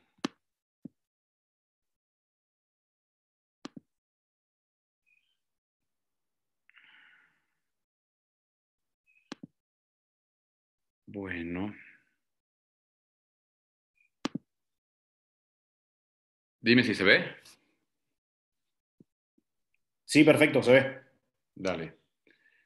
Bueno, nuevamente gracias, Bianchi. Eh, a ver, Está al revés. Tienes que, hacer el. Arriba hay que. Tienes que cambiar la, las diapositivas. Se ve el presenter view ahí. ¿Sí? Ahí. Listo. Dale. Entonces, eh, mil gracias, Juan, por la invitación y a, todos por la consideración de, dar una plática. Eh, todo lo que he oído ha sido muy padre, muy interesante, súper buenas presentaciones. Así que esperemos eh, estar al nivel, ¿va? Entonces, a mí me, me, pidió Juan que si podíamos hacer una plática sobre cirugía de, prematuros. Eh, como dijo Juan, yo soy retinólogo, pero también me formé con haciendo retina pediátrica y es una de las áreas que me, que me apasionan y que me, me, gustan mucho, ¿no? Es muy técnica, muy difícil, pero pero pues si llegamos a tener un logro, la verdad es que es muy satisfactoria. Entonces, eh, básicamente, eh, vamos a hablar sobre consideraciones quirúrgicas anatómicas de cirugía de prematuros. Eh, es importante recordar que 50.000 niños sufren ceguera secundaria a, a, ROP y esto tiene que ver mucho con la tendencia actual de que los niños pueden nacer más temprano, hay mejores formas de poderlos eh, mantener en la UCIN, de que tengan recuperaciones eh, rápidas de salud. Sin embargo, a veces los factores eh, oculares siguen siendo un problema y seguimos lidiando con esto y a veces con, con, casos un poquito más agresivos. Actualmente, como todos sabemos, la forma en la cual se maneja la, la, de con fotografía láser, que sigue siendo nuestro estándar de oro. Sin embargo, también nos podemos ayudar por la terapia geogénica. Y obviamente, como bien dijo Nassim, la vitrectomía que ha tenido cambios eh, muy rápidos eh, en los últimos 10, 12 eh, años de, técnica, de instrumental, de equipo, calibres, etcétera, pues ha hecho que, que tenga ahorita ya un, que sea un pilar muy importante, depende la categoría de la prematurez que tengamos que, que abordar, ¿va? Eh, evidentemente, como todos sabemos, todos los resultados, tanto anatómicos que van a, van a, llevar a los cambios funcionales, van a disminuir si, si esta enfermedad sigue progresando, porque cada vez va a ser de, peor pronóstico eh, y de mayor dificultad. Como cualquier cirugía de retina, eh, esto se va a tratar de liberar y de sacar membranas traccionales, de tratar de pegar la retina que está desprendida, que esta es una retina en la gran mayoría por, una, por unas fuerzas traccionales, y una vez que apliquemos la retina, depende del caso nuevamente, el tipo, el grado de la, de la prematurez, aplicar láser o si tenemos la oportunidad, pues apoyarnos de un antiogénico. Entonces, como dijimos, pues esto es eh, un tema de, quirúrgico. Y aquí lo que vamos a hablar son primero la, parte anatómica, porque como cualquier cirujano tiene que saber que un, el ojo de un niño es diferente al, ojo de un adulto, entonces tenemos que tomar varias consideraciones, ¿no? De entrada, el globo ocular es, es, prácticamente la mitad del tamaño de un adulto, ¿no? Con un volumen de 4 milímetros, de, 4 milímetros, perdón, en un, en un, adulto, comparado contra de 2.5 en un, en un niño, ¿no? Este crecimiento de este, de este, de este ojito del bebé va a crecer rápidamente en los primeros eh, dos años de vida, sin embargo, nos tenemos pocos meses para poder actuar, generalmente en los primeros cuatro o seis meses, máximo ocho. Eh, entonces tenemos que tener en cuenta que esto es importante para manejar nuestros instrumentos, nuestras distancias, eh, porque si entramos inadvertidamente como cualquier adulto, eh, y no medimos los tamaños, podemos tomar y causar algún accidente. Eh, la esclera, nuevamente, la esclera también tiene una diferencia eh, anatómica importante, de un grosor de un milímetro en un adulto, sabemos que varía debajo de, los músculos intraoculares, pero es un grosor considerable. Sin embargo, en los niños es, aparte de ser menos gruesa, es menos rígida. Y esto nos da varias complicaciones, como que eh, los instrumentos van a, estar, eh, van a poderse eh, bascular fácilmente dentro del ojo, si es que usamos trócares, la cánula de fijación, o que podamos tener colapsos porque, porque la estera se puede, si hacemos vacíos muy altos, se puede colapsar o se puede hipotonizar debido a que la estera no tiene este grosor que estamos acostumbrados a manejar. Entonces, que tenemos que estar pendientes de nuestros niños. Eh, cuando son niños menores de dos años, se prefiere diferir eh, eh, el uso de, un sistema de troca y cánula, por lo que estamos acabamos de platicar, y también por, por el tipo de entrada, por lo que no queremos tocar el cristalino. Y cuando, queramos entrar, cuando queremos entrar a nuestras escleras, es mejor que sea una forma perpendicular a que sea una forma escalonada como, como hacemos con un adulto, eh, ya que por, por, el volumen que tiene el ojo y por la esclera que es menos eh, gruesa, tenemos riesgo de tener eh, accidentes o complicaciones dentro del ojo. El cristalino es muy importante, ya que el cristalino en, un, adulto, un adulto pues, ocupa un volumen más, más pequeño, en un ojo más grande, y en un niño es al revés. El cristalino de un niño es prácticamente muy similar al tamaño de un adulto, va creciendo en, los primeros dos o tres, eh, eh, los primeros meses, sin embargo el tamaño es muy grande para un ojo tan pequeño. Entonces es importante tener, tener muchos en cuenta porque si al hacer nuestra cirugía estamos pensando hacer una cirugía donde evitemos eh, tocar el cristalino o sacrificarlo, tenemos que saber que nuestra entrada, que aparte de ser perpendicular, tiene que ser hacia, hacia, la, la, parte posterior del ojo para no, no, tocar el cristalino y no, y no poder eh, lastimarlo, porque como mencionaba anteriormente, esto va a considerar que, que se opaque, que perdamos visibilidad, que se generen problemas inflamatorios eh, y también en estos niños eh, que el volumen es más pequeño, la presión de fluídica que usamos en la vitrectomía conlleva que la córnea se inflame más rápidamente, se dematice y también nos baje la, la, la visualización. Entonces es importante tener en cuenta que estamos manejando un cristalino de un tamaño casi normal eh, en un ojo eh, mucho más pequeñito, ¿no? Eh, las entradas, que, esta es la parte más importante, yo creo que para muchos retinólogos que, nos preocupa en cada caso, que cada caso es siempre diferente, ahorita vamos a hablar sobre esto, pero en la parte anatómica es muy importante considerar que, nuestro cuerpo ciliar es un poquito más amplio por lo que acabamos de mencionar, por lo que tenemos que tener en cuenta que, tenemos un espacio más pequeño en la pars plana para poder entrar de manera libre y segura y no, tener accidentes a nivel de la, base vítrea, a nivel del cuerpo ciliar o nuevamente para poder tocar el cristalino. Entonces, eh, saber que, de, limbo, más o menos tenemos que, tomar en cuenta que hay como unos 2, 2.5 milímetros de, área donde va a estar nuestra eh, pars donde está nuestro cuerpo ciliar, la, la eh, los pelos ciliares, y esta es un área donde no tenemos que entrar. Y abajito de eso ya podríamos entrar con mayor seguridad. Sin embargo, hay que estar pendientes si es que esa base vítrea, esa base está libre, no hay tejido redundante, no hay membranas, eh, no hay retina que esté plegada, porque aunque debe ser un área libre, puede ser, puede ser un área que esté comprometida porque la retina esté plegada o haya membranas que estén traccionando en ese momento la retina. Entonces, más o menos una consideración que se puede hacer, estamos a, mostrar eh, otras alternativas, es que como sabemos que en un adulto entramos más o menos si es un, un, eh, paciente fáquico a unos 4 milímetros aproximadamente de limbo. Si es pseudofáquico o afáquico, podemos entrar con seguridad a unos 3.5. Pero en niños, eh, generalmente cuando son menores de, de 7 años, esperamos entrar como entre 2 a 3 milímetros para poder saber que entramos en pars plana o abajito de la pars plicata y tratar de estar lo más lejos de la hora cerrato de la base vítrea.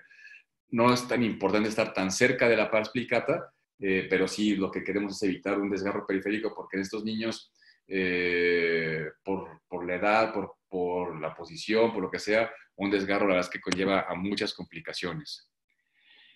Entonces, hablando de, nuestra parte de, que, que, es nuestra parte quirúrgica, una vez que ya tenemos en cuenta todo lo que acabamos de mencionar, eh, eh, tenemos que estar pendiente de lo que dijimos. No hay una, una, una paz plana completa hasta los 8 o 9 meses de edad aproximadamente. Y esto sí es que es una paz plana sana, ¿no?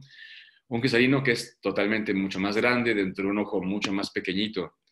Eh, es importante que una vez que ya tengamos el, paciente que se va a operar, el bebé que vamos a intervenir, eh, si lo, valorarlo bajo anestesia. ¿Qué quiere decir? Que aunque nosotros lo vimos en nuestra nuestro consultorio o en, el, hospital, tenemos que también, antes de, lavarnos y, de, prepararnos, volver a examinarlo, ya, ya el niño dormido, para poder volver a ver cómo está el ojito, manipularlo con mayor facilidad, sin que el niño esté llorando, moviéndose, eh, intentar eh, retroiluminar para poder saber por qué plano y por qué cuadrante va a ser más segura nuestra cirugía, para saber si lo que vimos en la consulta es lo que lo que realmente estamos viendo nuevamente bajo anestesia, porque muchas veces vemos un tejido que nos llama la atención, que creemos que puede ser un desprendimiento de retina o un embudo, y ya cuando entramos con un niño que está más calmado y totalmente dormido, entonces vemos que tal vez más bien era una persistencia con un sangrado que no deja ver muy bien,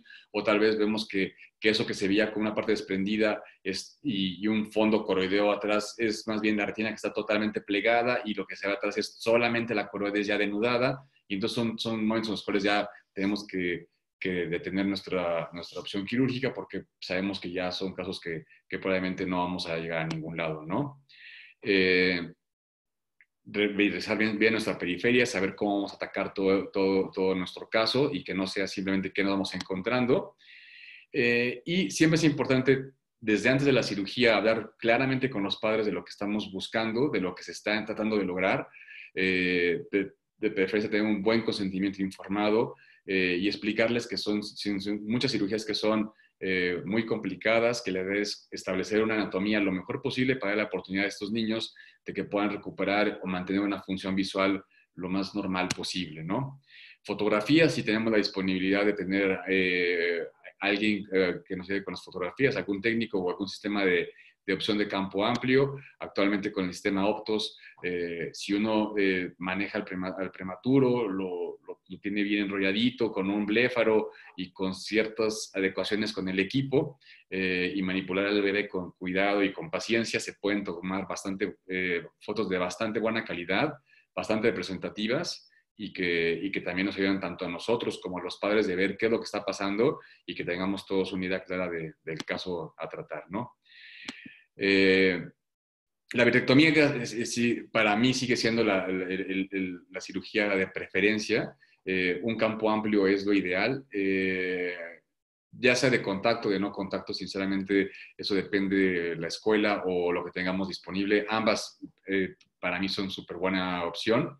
Hay lentes de contacto para, para prematuros, son un poquito diferentes de manejar que los lentes de un adulto, pero funcionan perfectamente bien.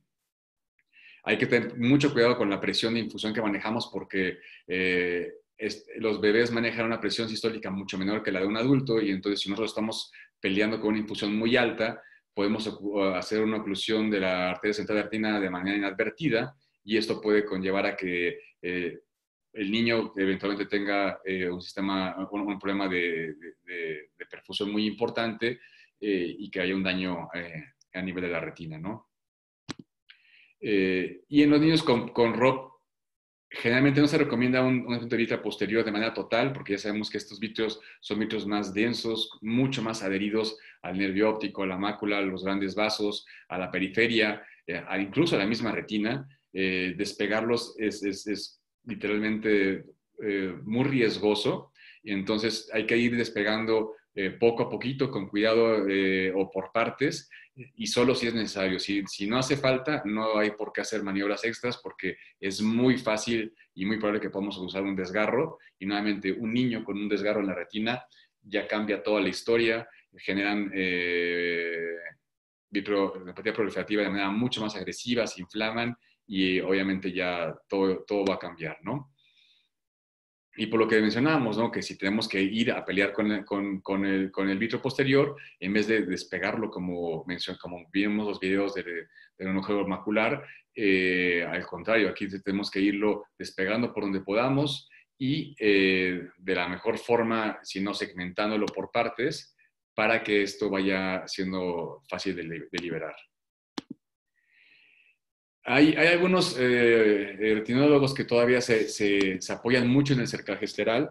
Creo que se puede considerar en algunos casos, sin embargo, como todos sabemos, este es un problema que tiene que ver mucho con tracciones eh, vítreas eh, internas dentro del ojo, ¿no? Entonces, eh, a veces es un, es, cerclaje que, como ustedes bien mencionan, nunca nos arrepentiremos de poner un cerclaje. Aquí a veces perdemos tiempo en, en, poner un cerclaje a veces le damos más tiempo a un bebé que, que, está lábil y débil bajo anestesia general y a veces no nos sirve de mucho, ¿no? O a veces nos estorba. Entonces, depende mucho el caso para dónde, dónde, dónde se puede utilizar un 4A, por ejemplo, donde se genera una, retina desprendida periférica sin embrujo macular, pero que las tracciones vítreas internas no son tan densas y tan importantes, se puede considerar haciendo una técnica normal de cerclaje, 360 grados eh, al ecuador, drenando, e incluso está poniendo un poco de crío para generar eh, adherencia de la retina, de, la retina al EPR, no tanto porque tengamos que bloquear una lesión, porque realmente este, este tejido se desprendió por tracciones vítreas. Pero eh, en general no es, no, es, no es tan útil. Ahora, si ya lo colocamos, tenemos que recordar que, como dijimos, el ojo del niño va, va, a crecer en los dos primeros años. Y este, y este sabemos que el cerclaje puede eventualmente condicionar un retraso del crecimiento. Entonces tenemos que estar pendientes de este niño con cerclaje, de eventualmente poder segmentarlo para permitir el crecimiento de un ojo eh, normal. Con vitrectomía, como, como, como técnica combinada, eh, puede ser más funcional, liberando bien nuestras tracciones vítreas y si vemos que de alguna forma eh, la, la, retina se mantiene desprendida a nivel del ecuador o anterior al ecuador de preferencia, entonces sí nos puede apoyar. O si, si sentimos que, que nuestra cerclaje va a quedar a nivel de, de, de, nuestra, de nuestras áreas donde pongamos el láser, eh, entonces nos puede servir bastante. ¿Qué, ¿Qué, se prefiere utilizar? Banda de silicón, 240-40, eh, sin problemas. Y hay que tener en cuenta lo que mencionamos, ¿no? Limitación del crecimiento ocular, muy importante, y amblopía, porque como son nuevamente escleras más débiles, eh, con un, hagamos un apretón muy pequeñito, esto puede condicionar que el ojo genere miopías más altas o más importantes y se genera una ambliopía y dificultades de, recuperar función visual. 23 eh, o 25 de calibre es lo ideal actualmente, apoyándonos de, eso. Se puede hacer con calibre 20, pero no hay necesidad si tenemos que es más pequeños. 27 también es muy funcional, sin embargo el 27 me sigue pareciendo que sigue siendo, presentando cierta flexibilidad en estos casos, porque a diferencia de un 27 para usarlo para cirugía macular, donde, donde tú vas a lidiar con, con una limitorexis, aquí tienes que lidiar con membranas que tienes que traccionar, delaminar, apoyarte con una segunda mano o con, el, con, con una con una tijera o con, o con el delineador y esas, esas, esos movimientos doblan poco a poco el, instrumento. Entonces, 25 creo que es más útil para poder eh, lograr esto, ¿no? Lo que mencionábamos depende de la edad Esta es una tabla que, que, me parece muy funcional. Hay muchos autores que tienen sus diferentes distancias de, de, de, dónde entrar con estereotomía. Creo que esta es, una forma muy sencilla de poder recordarlo. Eh, dos milímetros son dos años, tres milímetros son tres años, cuatro milímetros en adelante eh, y, funciona perfectamente bien. Y solamente hay que tener muy en cuenta que nuestras entradas tienen que ser esquivando nuestro, nuestro cristalino más, más, más, más, que es más grande, ¿no? Siempre a mí me parece que se debe de suturar, eh, convertir todos los puertos eh, por comodidad, porque los niños se tallan eh, de manera brusca los bebés los ojos y porque la forma de entrar de la, de la al no ser de manera valvulada se puede abrir, porque las, las escleras son más, más flexibles, entonces, de preferencia sí. Hay autores que refieren que con caídos pequeños se puede mantener sin sutura, sin embargo, yo creo que sí es de preferencia siempre suturarlo, ¿no? Y los parámetros realmente eh, son, los, son los, los, comunes, no hay diferencia entre un parámetro de corte y succión, son básicamente los mismos, ¿no? ¿Qué tenemos que hacer? Eh, eh, decidir si vamos a entrar de una vía anterior, ya sea a nivel de limbo o eh, ¿Y esto para qué? Podemos entrar por vía límbica para poder eh, quitar el cristalino eh, o para podernos sacando la infusión para poder saber cómo está la retina. o muchas veces cuando colocamos por, vía limbo se, se, expande un poquito más el polo posterior y nos da, nos da permiso para poder entrar en, en, parte escleral. Lo que mencionábamos, saber dónde vamos a entrar, hay que ponernos iluminación transescleral o asomarnos con un en directo para poder ver cada, cuadrante cómo está y decidir si vamos a entrar eh, a, las 6, a las 12, temporal, nasal, eh, trocares muy pegados, porque cada cuadrante en cada bebé va a ser diferente. Esa parte que es una parte que no tenemos que, que, que, no poner en cuenta en detalle, porque es muy importante, porque si no vamos a entrar de manera advertida eh, subretiniano o causar desgarros, y ya con eso muchas cirugías de los bebés o un desgarro ya no llegamos a ningún lado, ¿va? En pacientes con, con avanzados eh, o en, embudos eh, grado 5, siempre se recomienda hacer una lesectomía con, con su capsulotomía total, eh, ya que esta capsulotomía forma algún andamio a la proliferación que crece de la parte posterior y que genera una contracción de la retina, es parte de las razones por las que se desprende, pero también este tejido fibroglial desgar, eh, desprende y, tapa el cuerpo ciliar y por eso muchas veces esos bebés van generando hipotonías y por eso cuando llegan con nosotros vemos eh, bebés con ojos más pequeñitos, hipotónicos, atalámicos o eh, ya con cambios corneales subsecuentes. ¿va? ¿Qué usamos de tamponada de preferencia? Eh, como todos sabemos, en cirugía de adultos se puede usar gas o silicón. Sinceramente, a mí no me gusta usar eh, el silicón porque esto en esos niños de grado 5 que sabemos que vamos a sacrificar nuestro cristalino, va a llevarnos a que, tengamos un, toque eh, endotelial con el silicón y se nos va a descomenzar la córnea de manera mucho más importante. Entonces, de preferencia, a mí me gusta usar ya sea silicón o de preferencia viscoelástico, que funciona muy bien, expande muy bien la retina de una manera también bastante noble y eh, no hay ninguna complicación por mantenerlo con, viscoelástico de manera eventual. Eh, si durante la cirugía tenemos la desfortuna de tener una argentomía, como ya mencioné, esto va a hacer que el éxito disminuya de manera muy drástica, va a generar BRP, puede sangrar, eh, se puede volver a establecer la hipotonía, entonces generalmente tienen que ser cirugías muy, muy limpias, casi perfectas para que tengamos un resultado eh, positivo, ¿no? Y eh, ya sea suturar o colocar diatema en la conjuntiva una vez, eh, una vez nuestra, nuestra cirugía para evitar que por alguna situación se nos pueda abrir la esclera y que esto nos lleva a que, tengamos un problema con hipotonía. Para vitrectomía, idealmente un estadio, un, estadio 4A o 4B son muy buenos. Sabemos que lo que sucede es que eh, a nivel de donde termina nuestra retina vascular y empieza nuestra retina a vascular, se generan tejidos fibrosos que, van eh, eh, tanto a la periferia como al cristalino, como a, la zónula, y entonces esto tenemos que cortarlo, limitarlo, literalmente como cortar eh, un andamiaje para que esto vaya cayendo y se vuelva a absorber. el tejido suertiniano que, el líquido suertiniano que se, que, se alcanzó a, formar. Eh, de preferencia también se puede hacer después de aplicar un poco el láser para limitar el caso, para que esté un poquito más frío y tengamos mejores efectos, o colocando, como también mencionaron, un antiogénico, sabiendo que tenemos eh, una ventanita de, tiempo para tratarlo, para poder hacer cirugía y para que no pueda haber una complicación por no poder operar a, tiempo, ¿no? Eh, si podemos aplicar el cristalino, eh, entrar en, en, la parte posterior, hacer una translaminación y eh, delimitar bien estas imágenes, cortar estos, tejidos. Estos tejidos pueden sangrar, hay muchos de estos tejidos que, que, que, proliferan con, con, vasos, entonces cada vez que, cortemos y sangra, luego, luego hay que poner diatermia para evitar que, sigan sangrando, que nos genere inflamación y que nos genere más membranas que nos puedan complicar eh, nuestra cirugía, ¿no?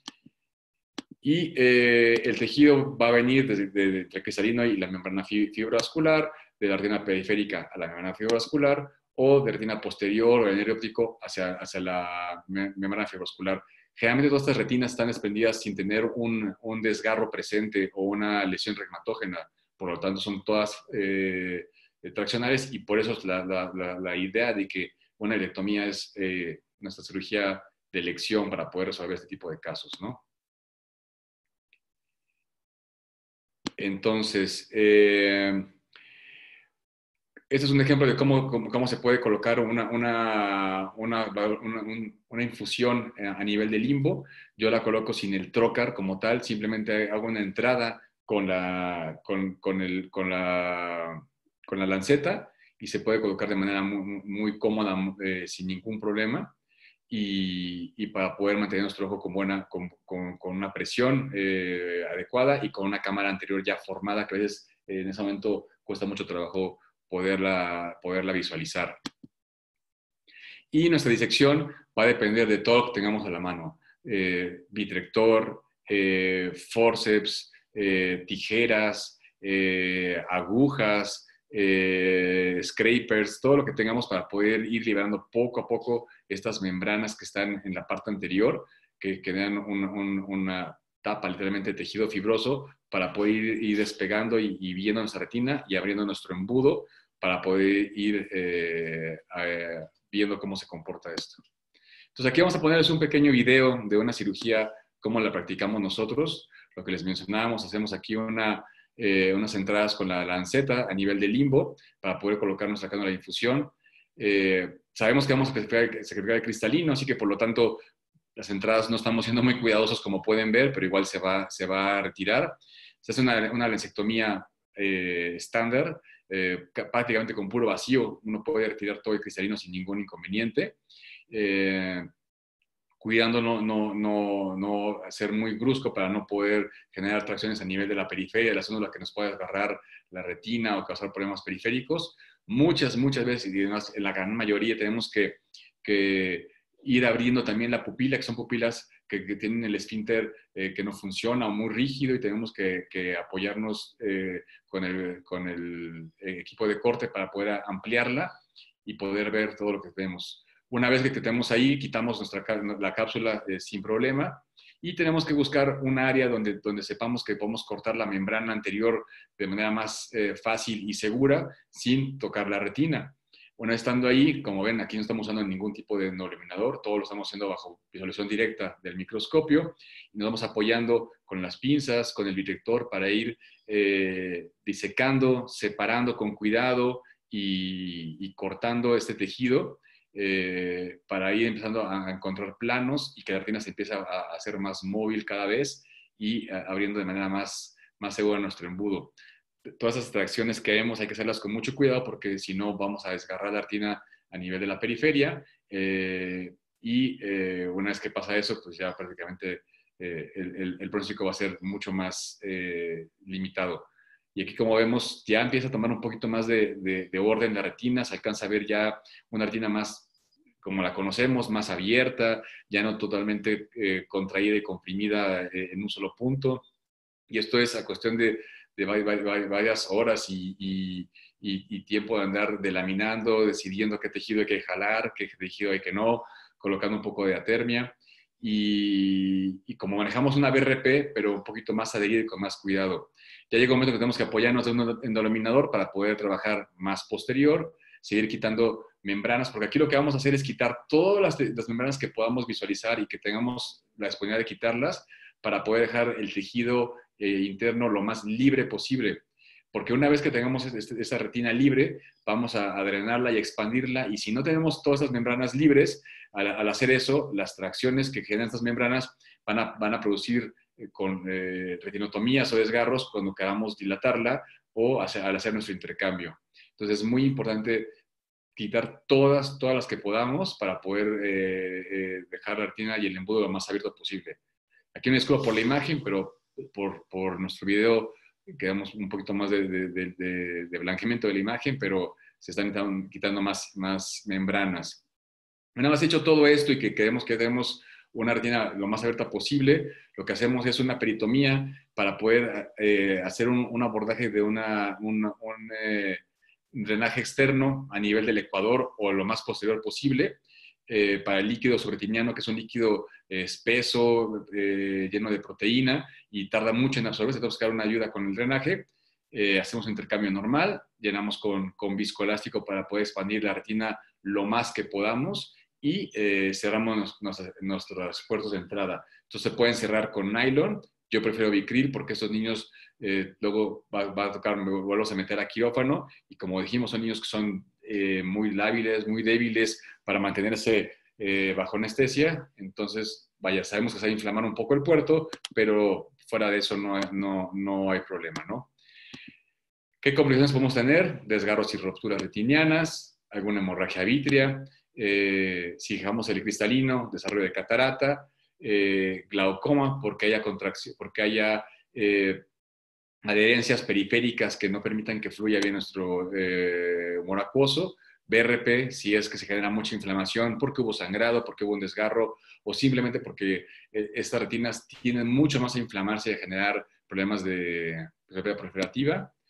Y pues cualquier eh, factor de mal, de mal resultado anatómico va a hacer que el embudo esté cerrado tanto en la parte anterior como en la parte posterior, que, que nos sepamos que nuestro niño nos encontremos o por otro niño tenga una hemorragia subretiniana, eh, o que, veamos eh, en nuestra operación, ya sea en el consultorio o bajo anestesia, membranas muy vasculares, son cosas que, que, sabemos que ya de por sí el caso es difícil y que va a estar más complicado, ¿no? Y la edad, a mayor edad, todo esto va a ser más difícil. ¿Qué resultados conocemos? Eh, obviamente es mucho mejor en estadio 4 que en estadio 5, evidentemente. En estadio 4 eh, vemos que cuando ha sido un 4A, eh, de un 84 a un 100% posterior a una vitrectomía, pueden llegar a una visión hasta de un 20-60, lo cual es muy positivo, también salvando el cristalino y que no tenga otra complicación. Cuando es un 4B, puede llegar hasta un 20-200, depende el, grado de involucro macular que tenga el desprendimiento de retina de estos bebés pero también es una cirugía de muy buen pronóstico para este tipo de, bebés. Y en un estadio 5, comparándolo con un crío ROP, que era solamente colocar crío, etcétera, que la visión era muy mala, aquí la verdad es que en algunos bebés podemos lograr visiones de 5, 200 y hasta de un 20, 400 en algunos casos. Sinceramente son cirugías muy difíciles. En todos los artículos se refiere que generalmente uno de cada ocho bebés que se operan, de, de cada ojo que se opera, perdón, puede tener un resultado anatómico favorable. Eh, en nuestra experiencia en el hospital eh, nos ha pasado lo mismo. Eh, y son retinas que no se expanden de manera completa como cuando uno ve un adulto, ¿no? Son retinas que quedan como tubulares, pero si ese tubo alcanza a llegar a, abrirse lo más posterior posible y darnos una, una visión del nervio óptico aproximada y una, una, área macular relativamente aplicada, pueden tener un buen resultado, pero nunca van a ser retinas totalmente expandidas ni, ni, aplicadas como un ojo normal, porque estas retinas tienen cierto factor de inflamación intrínseca y de memoria que no permiten que se, que se expanda de manera total eh, contra el globo ocular. Para, para, terminar, estas son las consideraciones que, que, yo les mencionaría. Un consultorio informado muy claro, tanto verbal con el paciente como, como escrito, porque tengamos y recordemos que, que, estamos lidiando con el bebé de una pareja, ¿no? Y son eh, momentos que son muy difíciles para los papás y, y pueden llevar a muchas eh, emociones, ¿no? Tanto de tristeza, depresión o de enojo contra el médico, contra nosotros que quisimos hacer algo y que el niño ya no funcionó, llegó a ti ese ojo. Entonces hay que ser muy claros en lo que estamos haciendo y, y, sí, protegernos totalmente de, de, estas cirugías, ¿no? La posición postoperatoria es muy complicada. Idealmente que quisiéramos que el niño estuviera boca abajo, pero un bebé es imposible, pero si los papás entienden lo que, lo que hicimos y entienden lo que tenemos que buscar, eh, ellos pueden ayudar manteniendo el bebé boca abajo de manera eh, de unos tres a, dos o tres días cargándolo boca abajo y con eso nos funciona muy bien. Eh, una valoración eh, postoperatoria inmediata va a ser muy complicada, sinceramente, porque la córnea está muy inflamada, se dematiza, el niño no coopera nada, le molesta, el párpado está inflamado, no tenemos una buena apertura, entonces hay que tener mucha paciencia y saber de que lo que hicimos fue lo mejor que se pudo hacer y eventualmente podemos ir revisando, ¿no?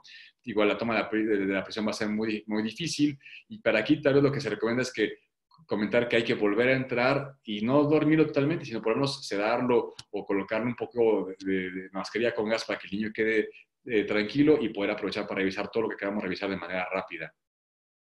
Cada técnica hay que checarla y usarla para cada, para cada caso y qué tratamiento es el mejor, ¿no?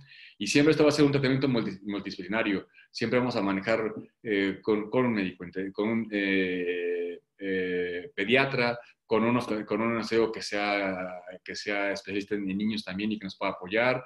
Y al final de nuestra cirugía, si todo sale bien, tenemos que llevarlos con un especialista en visión baja para que tenga la mejor reacción visual posible y esperemos que ese niño pueda recuperar algo de función visual, ¿no? Todo esto tiene que ser eh, oportuno. O sea, en los, bebés no hay tiempo que perder y entre más tiempo pase, peor va a ser el caso, ¿no? Entonces, esto, esto sí es una, una, patología que es, depende mucho del tiempo y es importante que, que podamos atender a hacer sobre esto a la brevedad posible, ¿no? Muchas veces esto no, es, no, no lo logramos porque aunque queramos hacer todo y la familia, si el bebé está muy débil, los pulmones no están de, de, manera adecuada y una, y una general es un riesgo para la vida, pues tenemos que, esperar porque obviamente no vamos a, entrar en ese riesgo y en la, en la, primera oportunidad tratar de hacer lo mejor posible. Operar un ojo eh, o dos en, en ese evento depende del cirujano. Yo prefiero entrar un ojo a la vez, pero muchas escuelas o muchos eh, prefieren entrar de una vez por ambos ojos. Yo creo que son cirugías muy laboriosas para, para hacer dos ojos a la vez y es más tiempo de, de generar a un bebé, pero nuevamente depende del caso, ¿no? Y estar pendientes con, con poner enlaces y lo que tenemos que hacer, eh, antiogénico, que es una excelente arma que tenemos a nuestra disposición, y eh, cirugía eh, en el momento que creamos que va a ser la opción correcta, ¿no? Eh, nuevamente, gracias por, por, la invitación. Espero que haya sido de, de su agrado y que, y que sea útil y que, y que nos sirva para entender que son casos difíciles, pero que si hacemos las cosas a tiempo, les puede ir bien a estos niños.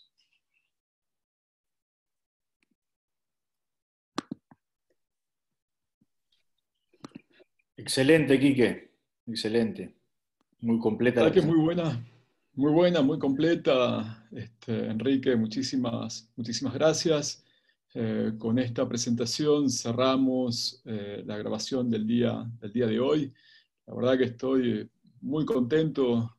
Eh, conversamos recién con Juan que todas las presentaciones nos, nos, parecieron espectaculares. Creo que vamos a tener un curso realmente brillante. Eh, en lo personal siento que he aprendido un montón de cada uno de ustedes, así que eh, el nombre eh, mío personal, el nombre de todo el grupo que hemos organizado esto con Juan y, Marcelo, y este, bueno, la participación de todos ustedes ha sido invalorable para que tengamos el mes que viene un Oftalmo Córdoba repleto de buena, de buena información. Así que muchísimas gracias a todos. Eh, Olivia, Miguel, eh, están por allí. Recién lo veía a, a Perfecto, que, este, eh, Perfecto, you are my hero. still, still there. yeah, I will have, I'll have to listen, but then I have to send you my video. Uh, yes, perfect. I, will be waiting you. Don't worry about it.